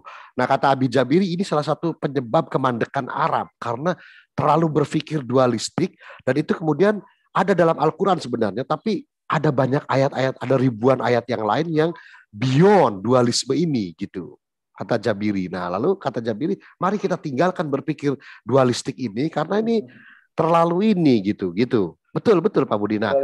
Nah, lalu kemudian uh, Karen Armstrong dengan bukunya yang terbaru itu juga menunjukkan aspek lain dari kitab suci itu. The the lost art of scripture itu. Ya, ya. Oke. Okay. Uh, eh, makasih Mas Media. Ini, ini ada banyak yang makin malam makin banyak nih yang mau tanya. Ini ada masih ada empat. Iya. Ya. Oke, kita berbagi. Silakan, silakan. Silakan Pak Pak Hafid. Ya, makasih. Maaf suara saya kurang bagus nih. Assalamualaikum warahmatullahi wabarakatuh. Waalaikumsalam. Terima kasih Prof Media. Materinya makin asik nih. Ya. Pertanyaan saya singkat ya. Dua mudah-mudahan bisa dapat pencerahan nih dari Prof uh, Media. Uh, dari awal uh, sampai malam ini ya pertemuan ketiga ada dua kata kunci yang sangat bagus. Saya mohon penjelasan ya. tentang wahdatul wujud ya Ibnu ya. Arabi kemudian uh, Al-Jili ya. Mungkin bisa ini diberi penjelasan bagaimana perbandingannya versi Ibnu Arabi Al-Jili dengan Al-Hallaj.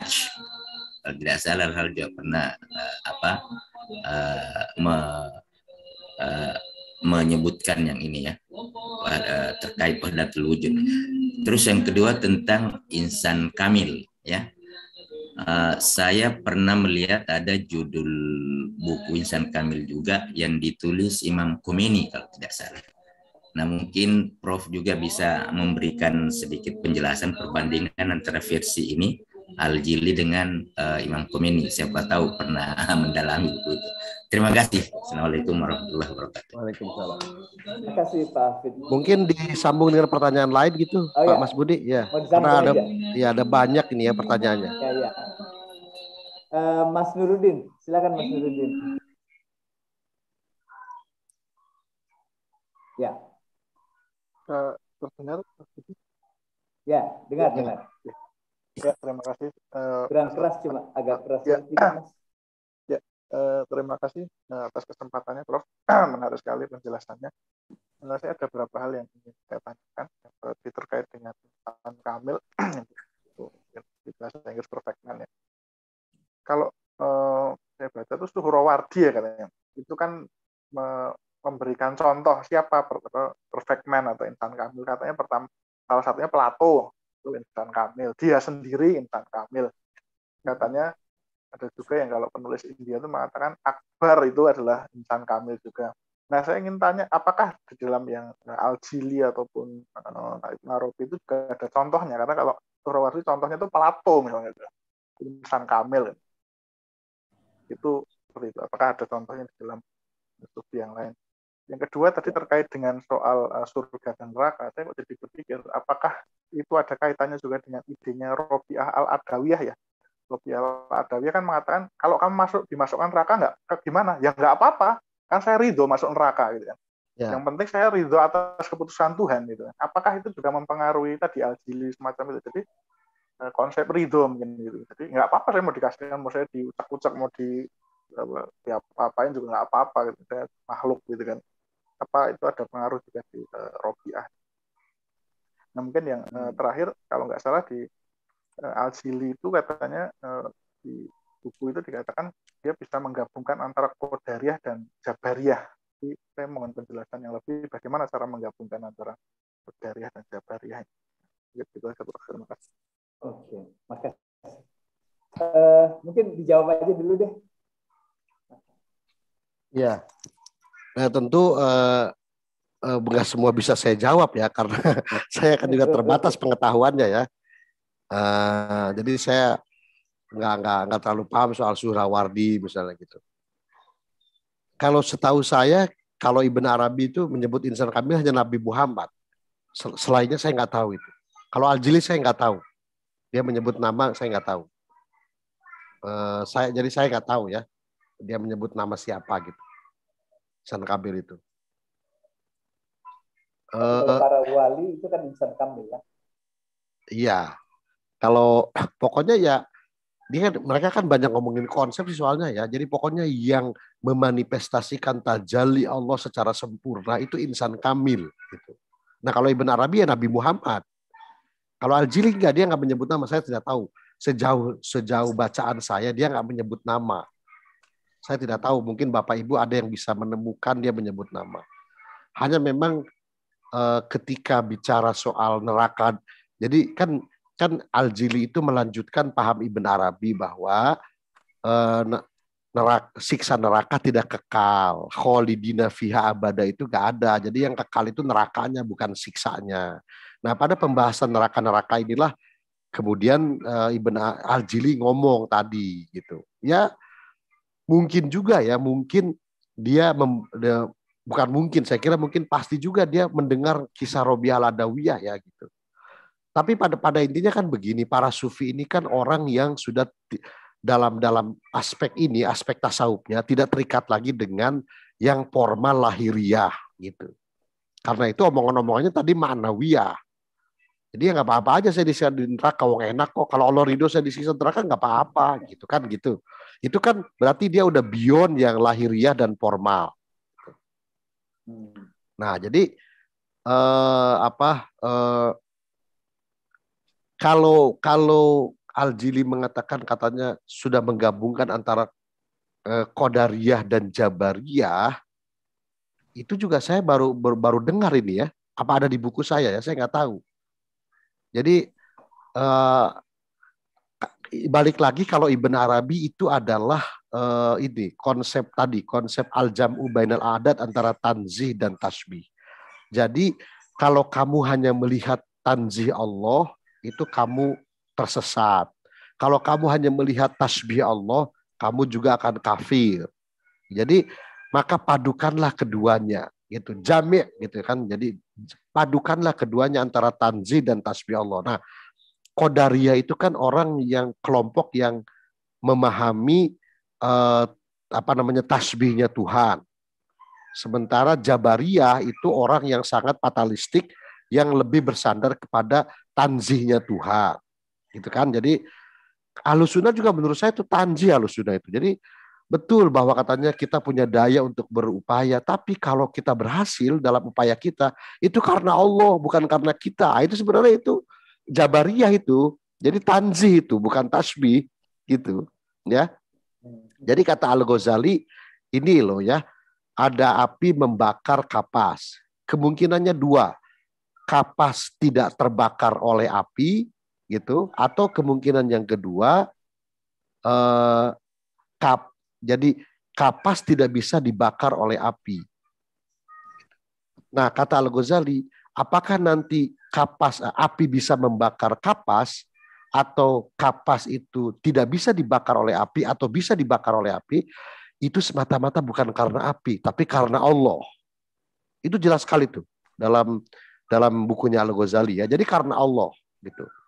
Jadi awas nih hati-hati karena Allah. Karena itu Al Ghazali mengecam para pelajar yang belajar matematika yang kemudian meyakini keakuratan matematika karena matematika itu buatan para filosof. Jadi kira-kira satu tambah satu itu dua itu menurut Allah bukan menurut matematika. jadi ini ini saya kira-kira ini kan jadi saya jadi saya baca Al Ghazali ya karena nah saya ini kok jadi mirip saya tidak mungkin saya membandingkan Al Ghazali dengan Abdul Qadir Jawas, tapi ini mirip dengan Abdul Qadir Jawas. Jadi hujan hujan itu adalah kehendak Allah, bukan karena air di di apanya diserap oleh matahari menjadi uap. Gitu, bukan, tapi karena kehendak Allah, gitu. nah, ini kan sebenarnya jabaria semua ini ya. Nah, Ibn Arabi mungkin dengan Al-Jili ingin mengatakan jangan begitu. Jadi, nah makanya nanti kembali ke paham wahdatul wujud tadi yang ditanyakan oleh Pak Hafid tadi. Jadi uh, harus harus seimbang nih di antara tanzih dan tasbih, di antara transendensi Tuhan dan imanensinya gitu. Itu Ibn Arabi itu banyak sekali pembahasan tentang kita bahwa kita harus seimbang tuh antara tanzih dan tasbih gitu. Saya kira itu ya Pak Pak itu ya Pak yang terakhir tadi jawab ya. Nah, ya yang yang wahdatul wujud ini jadi kita jadi kuliah wahdatul wujud ya. Ya, tapi saya singkat aja, saya singkat. Kalau menurut Ibn Arabi, wujud itu hanya satu yang disebut dengan al-wujud al-haqiqi. Wujud atau al-wujud al-mutlak. Wujud itu hanya satu yang disebut wujud. Dan pengertian wujud ini uh, susah ya kalau bahasa jadi bahasa Indonesia ada atau mengada itu menurut saya belum bisa menjelaskan pengertian wujud itu. Ya. Nah, selain al-wujud al-mutlak dan al-wujud al-haqiqi ini adalah al-maujud yang diadakan. Nah, al-maujud ini Ibn Arabi menyebut sebut al-wujud al-isti'ari. Jadi wujud pinjaman. Jadi wujud ini dipinjam karena dia bukan wujud yang mutlak. Atau al-wujud az-zillu, wujud bayangan. Jadi dia ini wujud wujud ini bayangan aja dari wujud yang al-hakiki. Nah, seluruh wujud-wujud ini nanti akan kullu syai'in halikun. Seluruhnya akan hancur, akan binasa kecuali al-wujud al-hakiki. Jadi karena itu maka sebenarnya apa pun yang ada di dunia ini, walaupun kita melihat banyak fenomena yang beragam, yang bermacam-macam, sebenarnya hanya ada satu wujud. Itu yang disebut dengan wahdatul wujud, kesatuan wujud. Wujud itu hanya satu. Seluruh keragaman ini, ini sebenarnya ada di dalam wujud. Gitu. Nah, Ibn Arabi memberi contoh bumi ini sebenarnya satu. Al-ardu wahidah. Ya, bumi ini sebenarnya satu tidak banyak. Nah, tetapi al-madhahir penampakan-penampakan di dalam bumi ini, dalam planet bumi ini banyak. Gitu. Jadi yang banyak itu adalah al-madhahir, penampakan-penampakannya, tapi buminya satu gitu. Nah, yang penampakan itu sebenarnya dia meresap atau menyatu di dalam yang satu itu. Jadi, nah makanya itu bedanya antara Ibn Arabi dengan Ahlus Sunnah wal Jamaah. Kalau Ahlus Sunnah wal Jamaah, Allah menciptakan makhluk. Jadi seolah-olah Allah dengan makhluk terpisah. Tapi kalau kata Ibn Arabi, enggak. Ketika Allah menciptakan makhluk, Allah ikut di dalam makhluk itu. Di dalam makhluk ada Allah. Nah, nanti ini pakai teorinya lahut dan nasut al-halat ya. Jadi Allah itu punya sifat lahut, eh, apa namanya ketuhanan dan sekaligus punya sifat kemanusiaan, sementara manusia juga punya sifat ketuhanan, nasut dan lahut. Jadi kalau kita melihat manusia sebenarnya di situ ada Allah karena Allah ikut di dalamnya. Nah, pada level ini Allah itu sangat dekat dengan wahwa ma'akum ainama kuntum. Allah bersama kamu di mana saja kamu berada. Jadi ini Allah menyatu dengan manusia. Karena ketika bayi itu akan lahir, fanafakhtu min ruhi. Aku tiupkan ruhku kepada bayi itu, calon bayi itu. Jadi ruh Allah masuk ke dalam bayi itu. Jadi kita ini pergi ke mana-mana nih membawa ruh Allah ini. nggak nggak main-main ini. Kita ini pergi ke mana-mana membawa ruh Allah ini. Ya, jadi kalau penjelasan Yesus sebagai Tuhan itu menurut saya gampang sekali itu. Itu maksud saya gampang diterima di kalangan para sufi muslim. Ya. Itu gampang itu. Nah, nah karena Allah dengan makhluk itu menyatu, wahda menyatu sehingga dia dia tidak terpisah gitu antara makhluk dengan dengan Allah.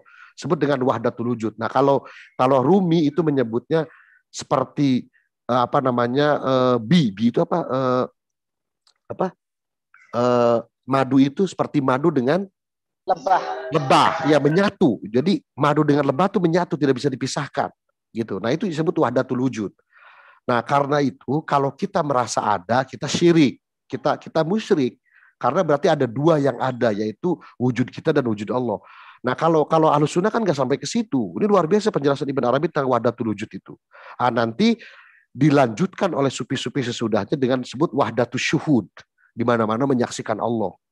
Ya, jadi kita menyaksikan apa pun dan lain sebagainya dan sebagainya.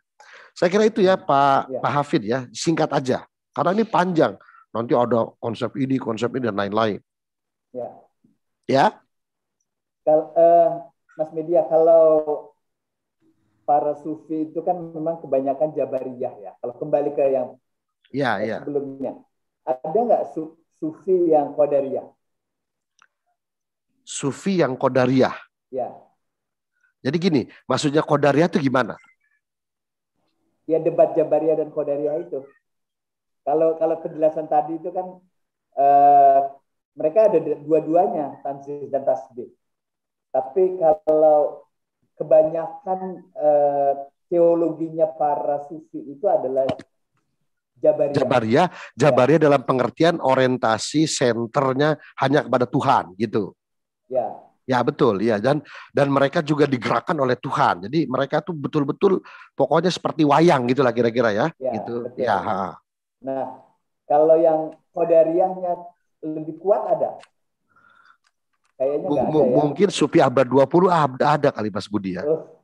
Kalau kalau para sufi abad 12 13 saya nggak menemukan ya, itu ya. ya. Pokoknya mereka banyaknya Jabariyah patalis patalis patalis dalam tapi justru bagi-bagi para sufi ini ya ketika mereka hanya memutlakan Allah aja itu mereka itu sebenarnya kodaria artinya bahwa mereka itu sudah sudah lepas dari ikatan-ikatan dunia gitu loh. Jadi kalau kita berpikirnya masih rasional, masih kalkulatif gitu ya, masih positivistik, itu sebenarnya belum belum belum kodaria kalau menurut sufi. Yang disebut kodaria itu kita membebaskan apa pun di dunia ini dan kita hanya percaya kepada yang maha mutlak. Nah, konsep yang maha mutlak ini kemudian menjadi nisbi gitu. Maksudnya nisbi itu tidak ada ukurannya gitu. Nah makanya ada sufi seperti Pak Kausar misalnya, dia percaya bahwa non Muslim itu pasti selamat di akhirat. Itu kan pandangan sufi modern sekarang yang beda dengan abad 12-13 gitu. Ya. Gitu. Okay. Baik, uh, mungkin saya mau kembali ke kolom chat dulu. Silakan Pak Ahmad kalau mau bicara. Atau saya bacakan aja. Tidak, Pak. Tidak. Ya, saya baca. Ditulis, ya. tulisan saja. Ya. Eh, ini dari Pak Ahmad. Pertanyaannya, seandainya beliau-beliau hidup di zaman ini, tiga tokoh yang kita bicarakan, di mana manusia sudah mampu mengidentifikasi planet-planet, benda-benda angkasa, apakah beliau-beliau tetap berpendapat seperti itu? Ya, Pak Ahmad, kalau misalnya Al-Jili hidup sekarang dan Al-Jili membaca Eh, ribuan buku ya, ribuan buku seperti kita membaca banyak buku, apalagi kemudian Al-Jiri misalnya di di apa namanya dijuluki filosof pada abad 20, saya kira enggak. Enggak akan punya pandangan begitu, enggak. Ya.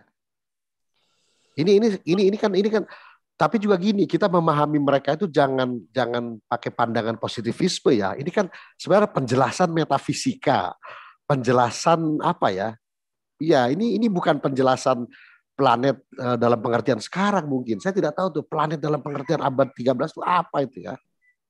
Iya, saya nggak tahu itu. Dan, masih di dalam pengaruh geosentris kan. Iya, mungkin. Jadi bukan heliosentris ya Mas Budi ya. Uh, mungkin geosentris. itu akan bubar semua. Iya. Platonisme, neoplatonisme itu bubar semua dengan iya. kosmologi modern. Iya, oke. Okay. Oke.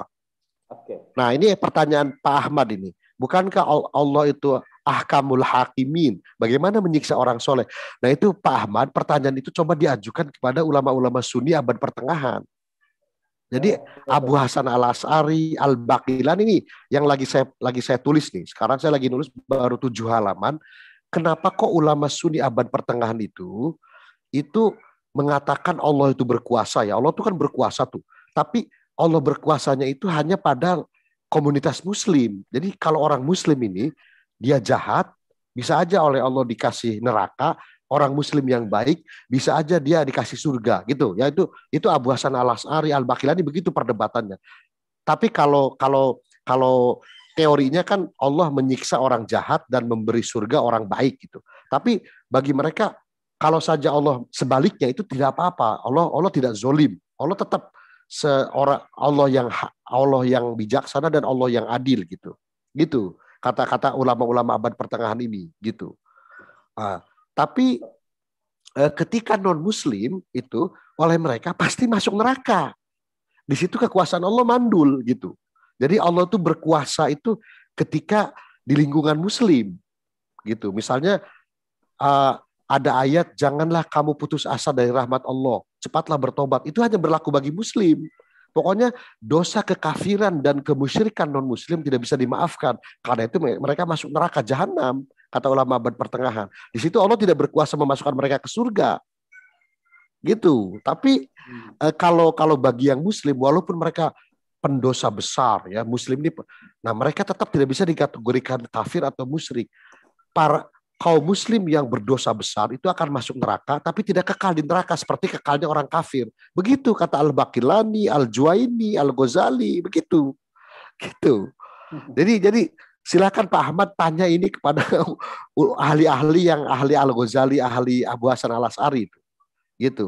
Nah, makanya kemudian para cendik sarjana muslim abad modern memakai paradigmanya Pak Ahmad ini kalau Allah itu adil seadil-adilnya, kenapa konon muslim yang banyak amal solehnya atau muslim yang banyak amal solehnya kok dimasukkan ke dalam neraka gitu? Gitu ya, uh, Pak Ahmad ya. Oke, yang lain. Oke, lanjut. Uh, silakan Pak Stephen. Pak Stephen, Stephen ya.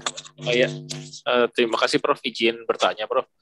Ada kaitannya dengan yang kemarin, tapi uh, ya ini kan kayak seperti semua berkaitan. Saya melihat bahwa konsep-konsep ini didasari pada uh, apa tajali ya konsep ya, tajali itu yang yang mendasari tiga pemikiran ini uh, konsep tajali Allah ini apakah uh, sama dengan uh, kalau di dalam isme itu panenteisme atau mungkin uh, dalam lingkup yang lebih besar itu monisme misalnya uh, apakah sama kalau aneka tidak uh, masuk mana terus kalau uh, pertanyaan yang kedua terkait dengan uh, pertanyaan yang kemarin uh, kalau nggak salah mengenai akidah ya bahwa akidah itu adalah interpretasi bisa jadi interpretasi manusia gitu. Iya. Apakah dengan begitu kalau melihat dari sudut hmm. pandang sudut pandang kebenaran apakah itu termasuk mengamini relativisme dalam arti oh ya ini kan uh, manusia yang menginterpretasi. Kalau tidak seperti apa gitu. Mungkin itu dua itu Prof. Terima kasih. Ya, Kak, pertanyaan pertama kalau penelitian disertasinya Profesor Kausar Azhari Nur, tajallinya Ibn Arabi itu itu bukan panteisme dan panenteisme dan bukan monisme. Beda ya. Nah, saya saya tidak bisa menjawab. Saya tidak tak karena saya lupa ya eh, apa namanya apa perbedaan di antara tajallinya Ibn Arabi dengan panenteisme, monisme dan panteisme itu. Jadi ini beda, beda karena tajali Ibn Arabi itu misalnya ada tajali Guebi, ada tajali Syahada, lalu tajalinya Al-Jili juga banyak kategorisasinya. Uh, pokoknya tajali itu adalah bahwa pertama sampai hari ini nih, berarti sampai hari ini berarti sampai detik ini berarti Allah tuh terus bertajali, Tuhan terus bertajali dalam bentuk-bentuk yang baru. Jadi kita yang 10 menit yang lalu tidak sama dengan kita yang sekarang. Gitu. Uh, apa namanya dan alam ini terus uh, apa namanya mengalami tajalinya Tuhan terus-terusan. Karena dalam Al-Qur'an dikatakan kullayaum huwa pisya'an. Tiap hari Tuhan itu sibuk, termasuk sibuk bertajali. Jadi sibuk mengabulkan doa, sibuk mendengarkan hamba-hambanya, termasuk sibuk bertajali kalau kata Ibn Arabi ya. Ini ini bukan kata saya ya. saya sendiri iya. saya ya saya kata Ibn Jadi tajali itu nah kalau kata Rumi bertajalinya itu melalui ribuan cara, bahkan melalui jutaan cara. Tuhan bertajali terus tiap hari. Sampai bentuk alam ini, ini kan sepertinya alam ini kelihatannya sama, padahal sebenarnya tidak sama ini antara alam kemarin dengan alam hari ini. Karena tiap hari Tuhan bertajali gitu. Nah termasuk keyakinan-keyakinan kita kepada Tuhan itu juga terus berevolusi. Nah kalau kata Ibn Arabi, kita memahami Tuhan waktu kita kecil, waktu kita remaja, waktu kita kuliah, waktu kita sekarang sudah berubah tangga, terus itu ber, ber, berevolusi cara cara kita memahami Tuhan. Itu bentuk dari tajali Tuhan. Gitu. Jadi kalau kalau panteisme itu kan di mana-mana ada Tuhan misalnya. Itu itu itu nggak sama begitu karena tajali itu kan tetap bagi Ibn Arabi bukan Tuhan yang mutlaknya. Kalau al-ilahul mutlak majhul. Jadi Tuhan Allah yang maha mutlak itu tidak bisa diketahui oleh manusia. Ini yang kita persepsi adalah tajali-tajalinya. Apakah itu nama-namanya atau sifat-sifatnya gitu. Gitu. Nah, ini ini ini rumit ya. Jadi termasuk keyakinan-keyakinan keagamaan kita ini kan tajali dari Allah tapi gini ya, mungkin yang bisa menjelaskan itu martabat tujuh. Menjadi martabat tujuh tuh Allah itu kan bertajali tujuh tahap tuh. Jadi ahadiyah, ahadiyah itu apa nih? Ini rumit nih. Lalu kedua wahidiyah, eh, bertajali lagi ke wahidiyah. Lalu dari wahidiyah Allah bertaj bertajali lagi wahdaniyah, bertajali terus sampai terjadinya alam semesta ini. Nah, dan di alam semesta ini juga Tuhan terus bertajali gitu. Nah itu itu jadi kalau di, dibuat skema run, kronologisnya itu mungkin perlu ada orang tuh yang membuat membuat runtutan kronologis ya gitu. Apa itu maksudnya hadiah? Karena gini, kalau para sufi ini konsepnya Tuhan yang maha mutlak itu itu tidak mungkin lah dia tidak mungkin dia eh, apa namanya eh, bertajali ke alam dunia ini atau ke alam ke alam kita ini yang relatif yang terikat ruang dan waktu. Nah kata Rumi kalau itu terjadi akan meledak alam ini gitu. Karena itu maka perlu ada proses tadi. Jadi ahadiyah, wahidiyah, wahdaniyah, baru Tuhan yang nomor berapa nih yang baru bertajali terus sampai jadi alam gitu. Kira-kira gitu Mas Stephen ya.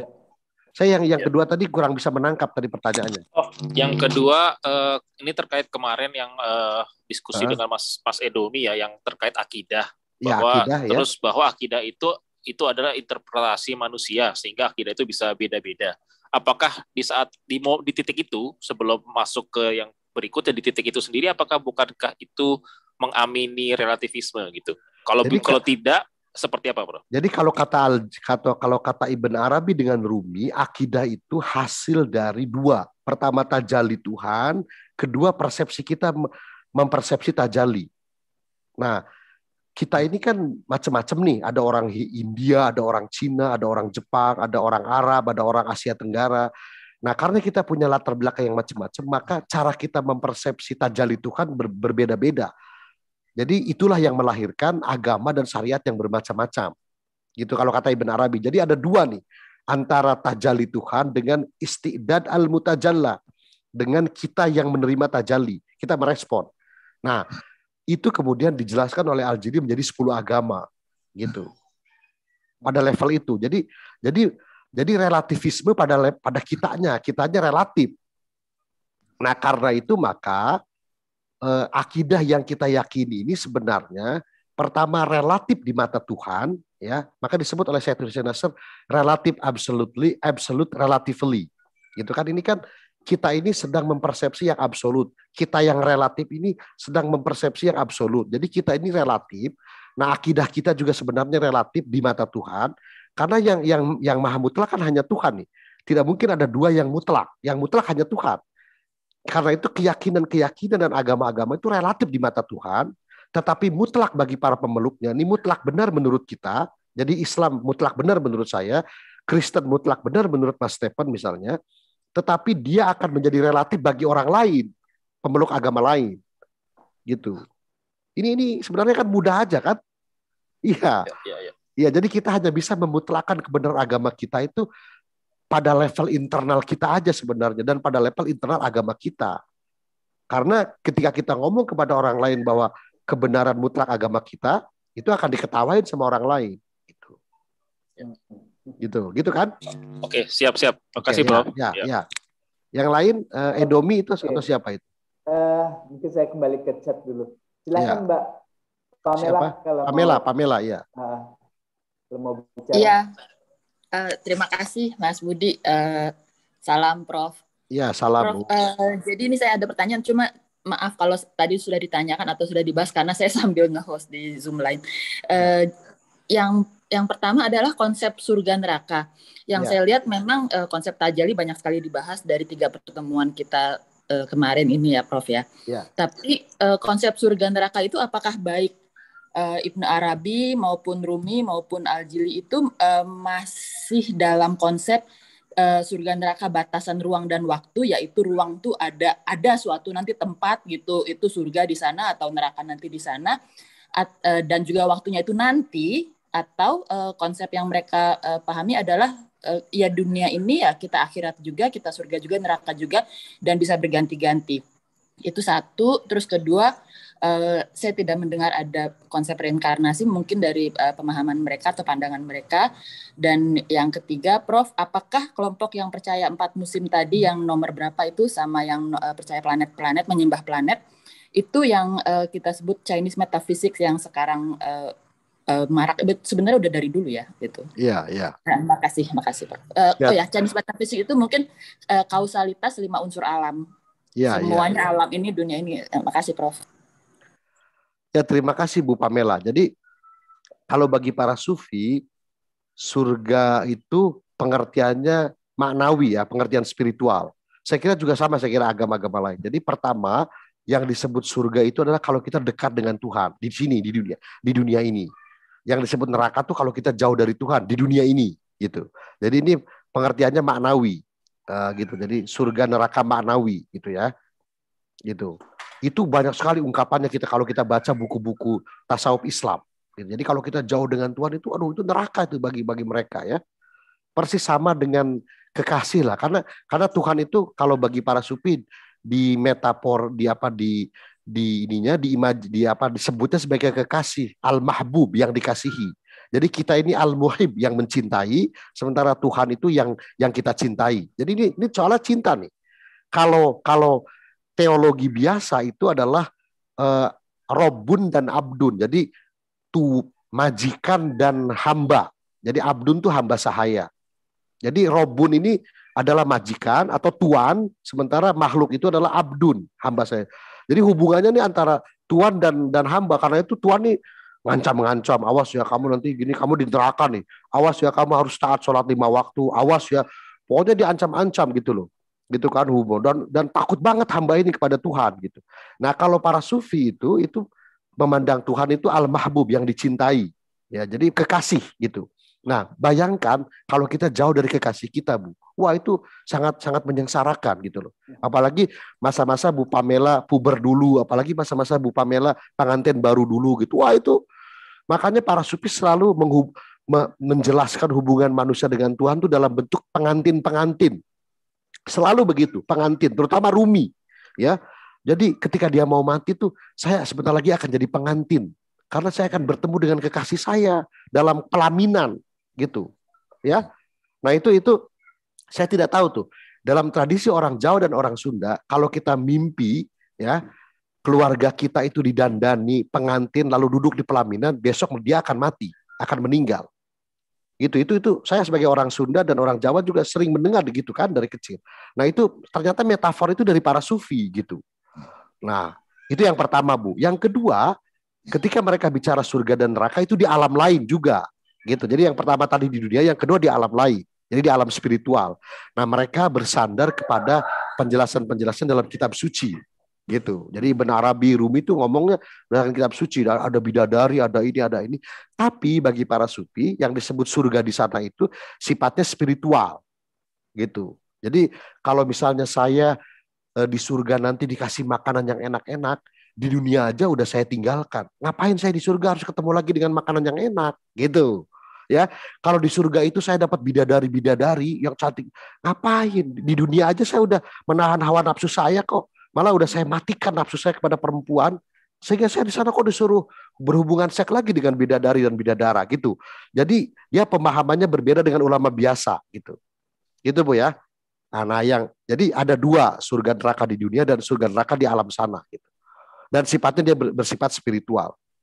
Nah, yang yang kedua tuh saya kira mungkin itu saya kira pasti ada hubungannya Bu, ada kaitan-kaitannya karena ada banyak sekali ulama muslim tuh terutama yang para filosofnya ya Bu ya yang membicarakan tuh bintang gitu ya, rasi-rasi bintang. Yang kemudian nanti itu berhubungan dengan konfusianisme atau taoisme gitu. Iya, saya melihat itu ada ada banyak sekali kemiripan itu. Atau atau hubungan atau benang merah gitu ya. Nah, tapi saya hampir tidak menemukan kata-kata agama Cina ya, agama Cina atau agama Tao dalam tulisan Ibn Arabi atau Rumi. Walaupun pandangan-pandangan teologis mereka itu banyak yang mirip sebenarnya dengan uh, pandangan uh, kosmologinya orang Cina gitu. Itu Bu Pamela ya. Oke. Okay? Uh, iya, iya. Padahal kan ya. yang Cina itu yang lebih duluan ya semestinya. Iya, iya, iya. Yang tahu iya. Uh, kalau reinkarnasi itu, maaf Prof, gimana Prof? Reinkarnasi uh, saya tidak menemukan. Ya, tetapi ada ada sarjana muslim yang percaya reinkarnasi. Ada. Jadi dalam Al-Quran itu ada ayat waladi yuhyikum summa yumitukum summa yuhyikum summa ilaihi turja'un. Allah yang menghidupi kamu, menghidupkan kamu, lalu mematikan kamu, lalu menghidupkan kamu, lalu mematikan kamu lagi. Nah, dari ayat ini, dulu saya sempat baca ada beberapa sarjana muslim yang percaya bahwa uh, kita juga mengalami reinkarnasi. Tapi pendapat ini sangat minoritas dalam Islam.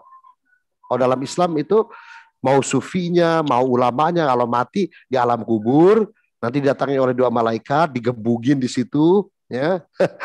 Malah ada buku judulnya Malam Pertama di Alam Kubur. Nah, itu. Itu Edomi Saputra tuh bisa menjelaskan itu kenapa ada malam pertama di alam kubur gitu. Selain di Quran uh, di kalau nggak salah ya di, di di Injil mungkin ya karena keluarga ya. saya ada yang Katolik juga. Ya, ya. Itu uh, juga ada kata-kata yang mati lahir lagi mati lahir lagi ya. Ya, ya. Jadi ya. sebenarnya bukan hanya di Quran gitu kan ya. Tapi ya, tidak ya. ada yang uh, tidak ada yang secara gamblang mungkin mau me mengartikan itu sebagai reinkarnasi gitu. Ya, ya, jadi itu sangat minoritas, tidak segamblang dalam Hinduisme dan Buddhisme. Gitu. Makasih Prof, okay, terima kasih ya. banyak. Terima kasih ya. Mas Budi. Terima kasih. Ya. ya. Memang menarik nih soal reinkarnasi karena reinkarnasi itu kan timur ya di agama-agama Hindu, Buddha di India, di Cina juga percaya pada yeah. reinkarnasi. Yeah, yeah. Tapi dia tidak ditemukan di dalam agama-agama di Barat, kecuali dalam reinterpretasi sekarang pada satu dua orang. Dan dan juga tidak ditemukan pada agama-agama Semitik gitu, Mas Budi. Ya, agama Semitik, betul. Ya, ya, ya, oke, okay, ya. Karena uh, karena konsep waktunya beda antara yang linier dan sirkuler. Ah, itu itu penjelasannya Bu ya antara okay. yang linier dan sirkuler. Ya, oke. Okay. Ya, Mas Edo, terakhir lah, terakhir ya. Terakhir ya. Boleh boleh nanya. Oh ya, silakan. Ibu, nanti Bu, uh, Mas Edo, Edomi dulu setelah ini. Nanti hmm. langsung sambung Ibu. Silakan. Okay. Mas Edo. Ya, baik, terima kasih. Mungkin uh, mengingat waktu uh, uh, atas kesempatan yang diberikan. Mungkin yang pertama yang ingin saya tanyakan mungkin menarik ya Prof tentang tadi yang dikatakan adanya uh, tajalli Allah dalam bentuk al-hadi dengan al-mudil ya. Ya kalau kita perhatikan Al-Hadi dengan Al-Mudil ini eh, kalau kita lihat ada penjelasan di Nicholson ya bahwasanya kekafiran dan dosa ini adalah efek katakanlah efek samping daripada aktivitas Tuhan dan memberikan kontribusi terhadap kesempurnaan Tuhan. Artinya kalau kita pahami demikian berarti uh, tajaliyah Tuhan yang maha sempurna itu ternyata tidak sempurna juga karena mengakibatkan sesuatu hal yang tidak sempurna dalam bentuk dosa dan juga kesesatan apakah bisa dipahami seperti itu? Itu yang pertama. Kemudian yang kedua mungkin uh, menarik uh, kalau dibaca di disertasinya Prof, itu ada semacam kayak ya katakanlah dalam istilah usul fikih ya, mungkin pemahaman Al-Jili terhadap agama lain bahwasanya ketika orang orang Nasrani uh, memahami kitab suci mereka, mereka salah, itu juga dapat pahala. Salahnya itu dapat pahala satu, kalau benar mereka dapat pahala dua. Nah, pemahaman seperti ini apakah uh, miliknya Al-Jili sendiri atau memang di kalangan Nasrani juga me mengakui adanya paham yang seperti ini. Nah, itu yang kedua. Kemudian yang ketiga, mungkin ini mirip dengan pendapat Prof. Kurais ya, bahwasanya adanya surga anugerah. Ya, kalau surga anugerah ini kan mirip dengan ya memang As'ari sekali. Mungkin kira-kira penjelasan dalam uh, Al-Jiri sendiri seperti apa? Apakah memang uh, Al-Jiri ini seorang As'ariyah atau seperti apa? Seperti apa, Prof? Ya, ya, saya, saya, saya jawab singkat kita, kita gabung Budi. dulu ya. Mas oh, gabung, gabung. Ya, ya. Silakan Ibu Kusmayati. Ya. Oke, okay. saya mau nanya ya. Tadi yang uh, apa? Uh, meneruskan Bapak tadi mengenai Al Hadi dan Al Mudi yaitu uh, katanya di dalam agama Islam uh, istrinya uh, siapa namanya? Istrinya uh, itu Nabi Musa, yang satunya lagi itu uh, siapa yang uh, musuhnya Nabi Musa itu? Uh, ya, Fir'aun. Fir'aun. Ya, Fir'aun itu al-mudil, tapi Aisyah itu bisa mencintai dua-duanya gitu loh. Ya. Jadi dia itu adalah perempuan yang paling hebat di dalam agama Islam. Ya. Terus yang kedua itu mengenai Nur Muhammad. Bapak, eh, Prof mengatakan pada hari pertama itu Adam itu adalah nabi uh, pertama, tapi Nur Muhammad itu nur yang pertama gitu.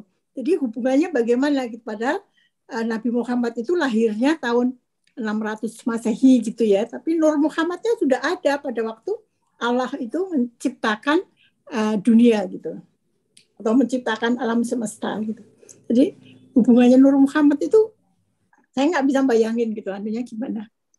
Ya. Ya, silakan. Oke, Bu. Uh, jadi uh, Nur Muhammad itu adalah konsep yang hanya populer di kalangan para sufi, ya, oh, para sufi.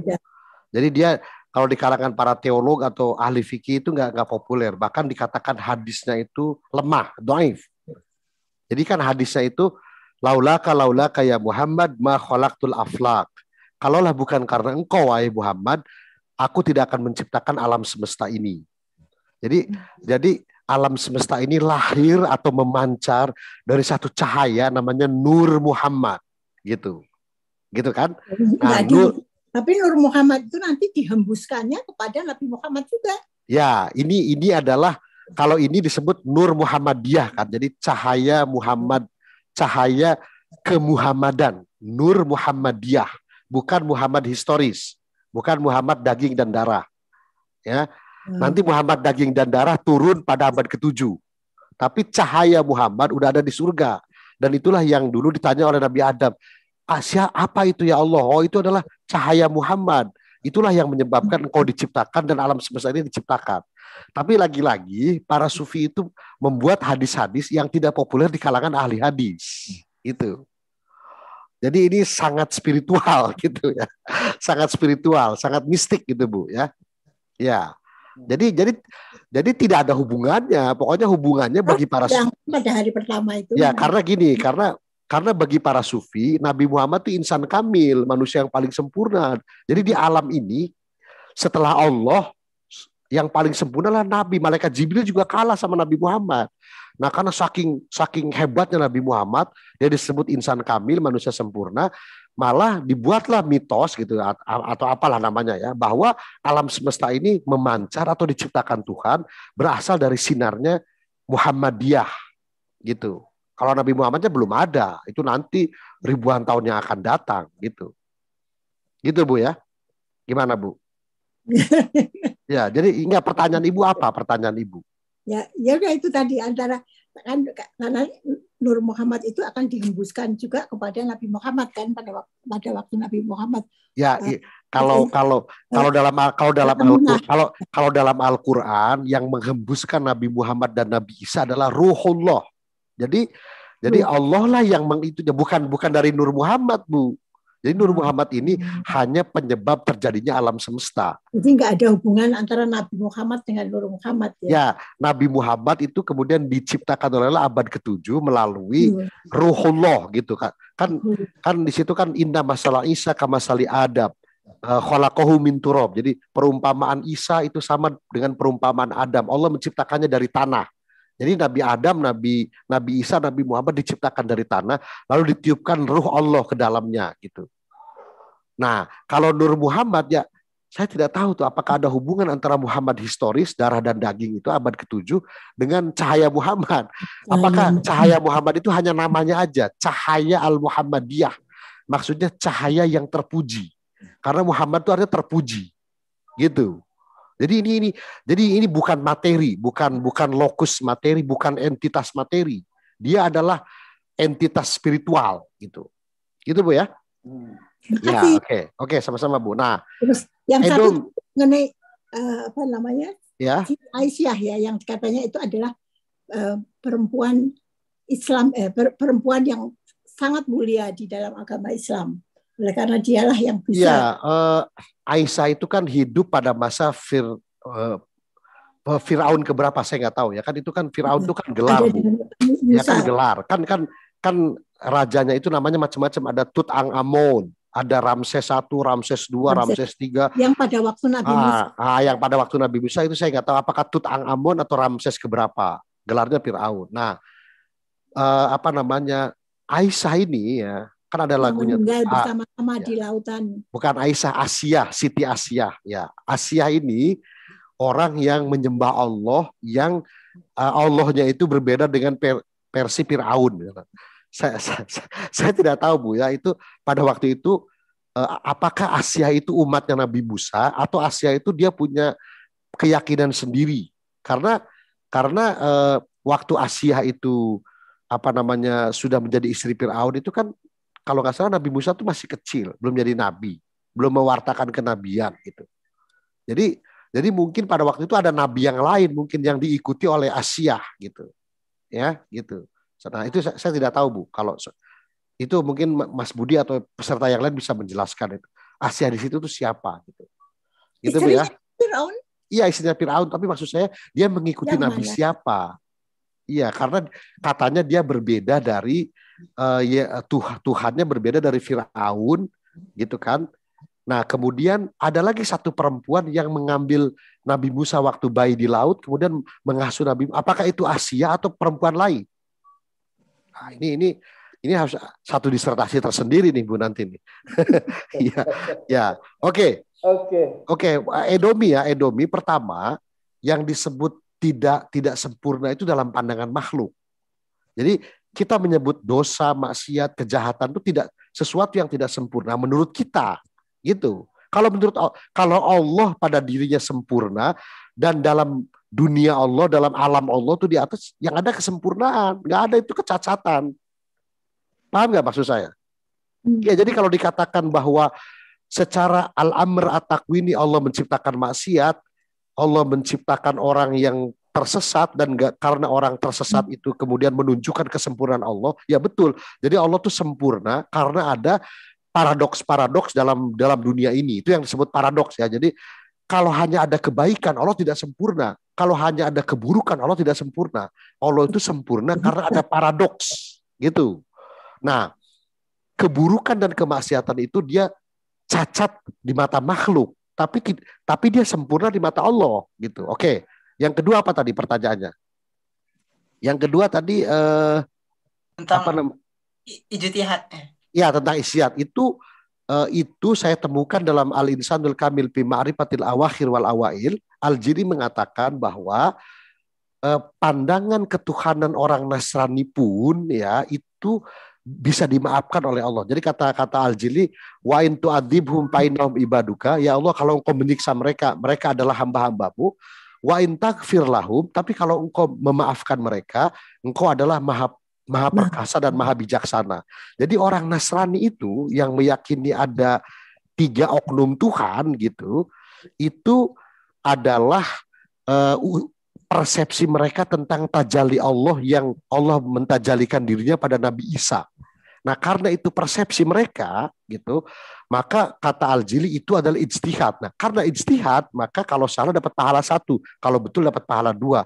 Hmm. Saya tidak menemukan ulama lain yang mengatakan akidahnya orang Nasrani itu ijtihad kecuali Al-Jili. Jadi kalau pertanyaan Anda, apakah ada ulama lain? Enggak, saya saya nggak tahu. Saya belum menemukan. Kalau bagi ulama lain, akidahnya Nasrani itu sesat dan syirik. Tapi menurut Al-Jili, akidahnya orang Nasrani itu bisa dimaafkan. Dan itu bentuk ijtihad. Kalau salah, dapat satu. Kalau betul, ijtihadnya bahwa Tuhan itu memiliki tiga oknum, Tuhan Bapa, Roh Kudus, dan Yesus, maka dapat pahala dua. Itu luar biasa itu. Kalau hidup zaman sekarang akan didemo oleh FPI berjilid-jilid dan dianggap menistakan agama. ya. ya gitu ya, Edomi ya. Oke. Okay. Iya, menarik sekali Mas Budi Aljil ini menarik sekali. Ya sampai dia mengatakan begitu. Ya Allah, mereka adalah hambamu. Kalau mereka salah, engkau bisa menghukum mereka. Tapi kalau engkau memaafkan mereka itu jauh lebih baik karena engkau maha maha maha agung gitu kira-kira maha bijaksana gitu. Nah, gitu gitu. Dan mereka itu kan hamba-hambamu juga gitu. Nah, tapi hanya dalam kasus Nasrani aja. Tapi kalau para penyembah bintang, para penyembah mata tadi para penyembah musi misalnya itu Aljili tidak mengatakan bahwa kalau mereka salah dapat pahala. Enggak. Enggak Edomi, enggak. Itu hanya kasus orang-orang Nasrani. Nah, tapi pertanyaannya, apakah orang Nasrani yang dipahami oleh ulama Muslim abad pertengahan itu maksudnya adalah orang Kristen gitu? Karena Nasrani dengan Kristen itu beda, ya. Jadi Nasrani dengan orang Kristen itu beda. Jadi Nasrani dalam Al-Quran sebenarnya itu tidak sama dengan orang Kristen yang hidup pada masa ulama-ulama abad pertengahan. Tapi selalu ulama abad pertengahan itu kalau melihat orang Kristen, dia merujuk kepada ayat-ayat Al-Quran tentang agama Nasrani gitu. Itu itu satu pembahasan lain lagi lah ya. Mungkin nanti Mas Mun Imsiri itu yang menjelaskan. Ya. Ya. Ya, oke. Okay. Oke. Baik, uh, mungkin kita akhiri aja ya, ya, ya. karena sudah jam 9.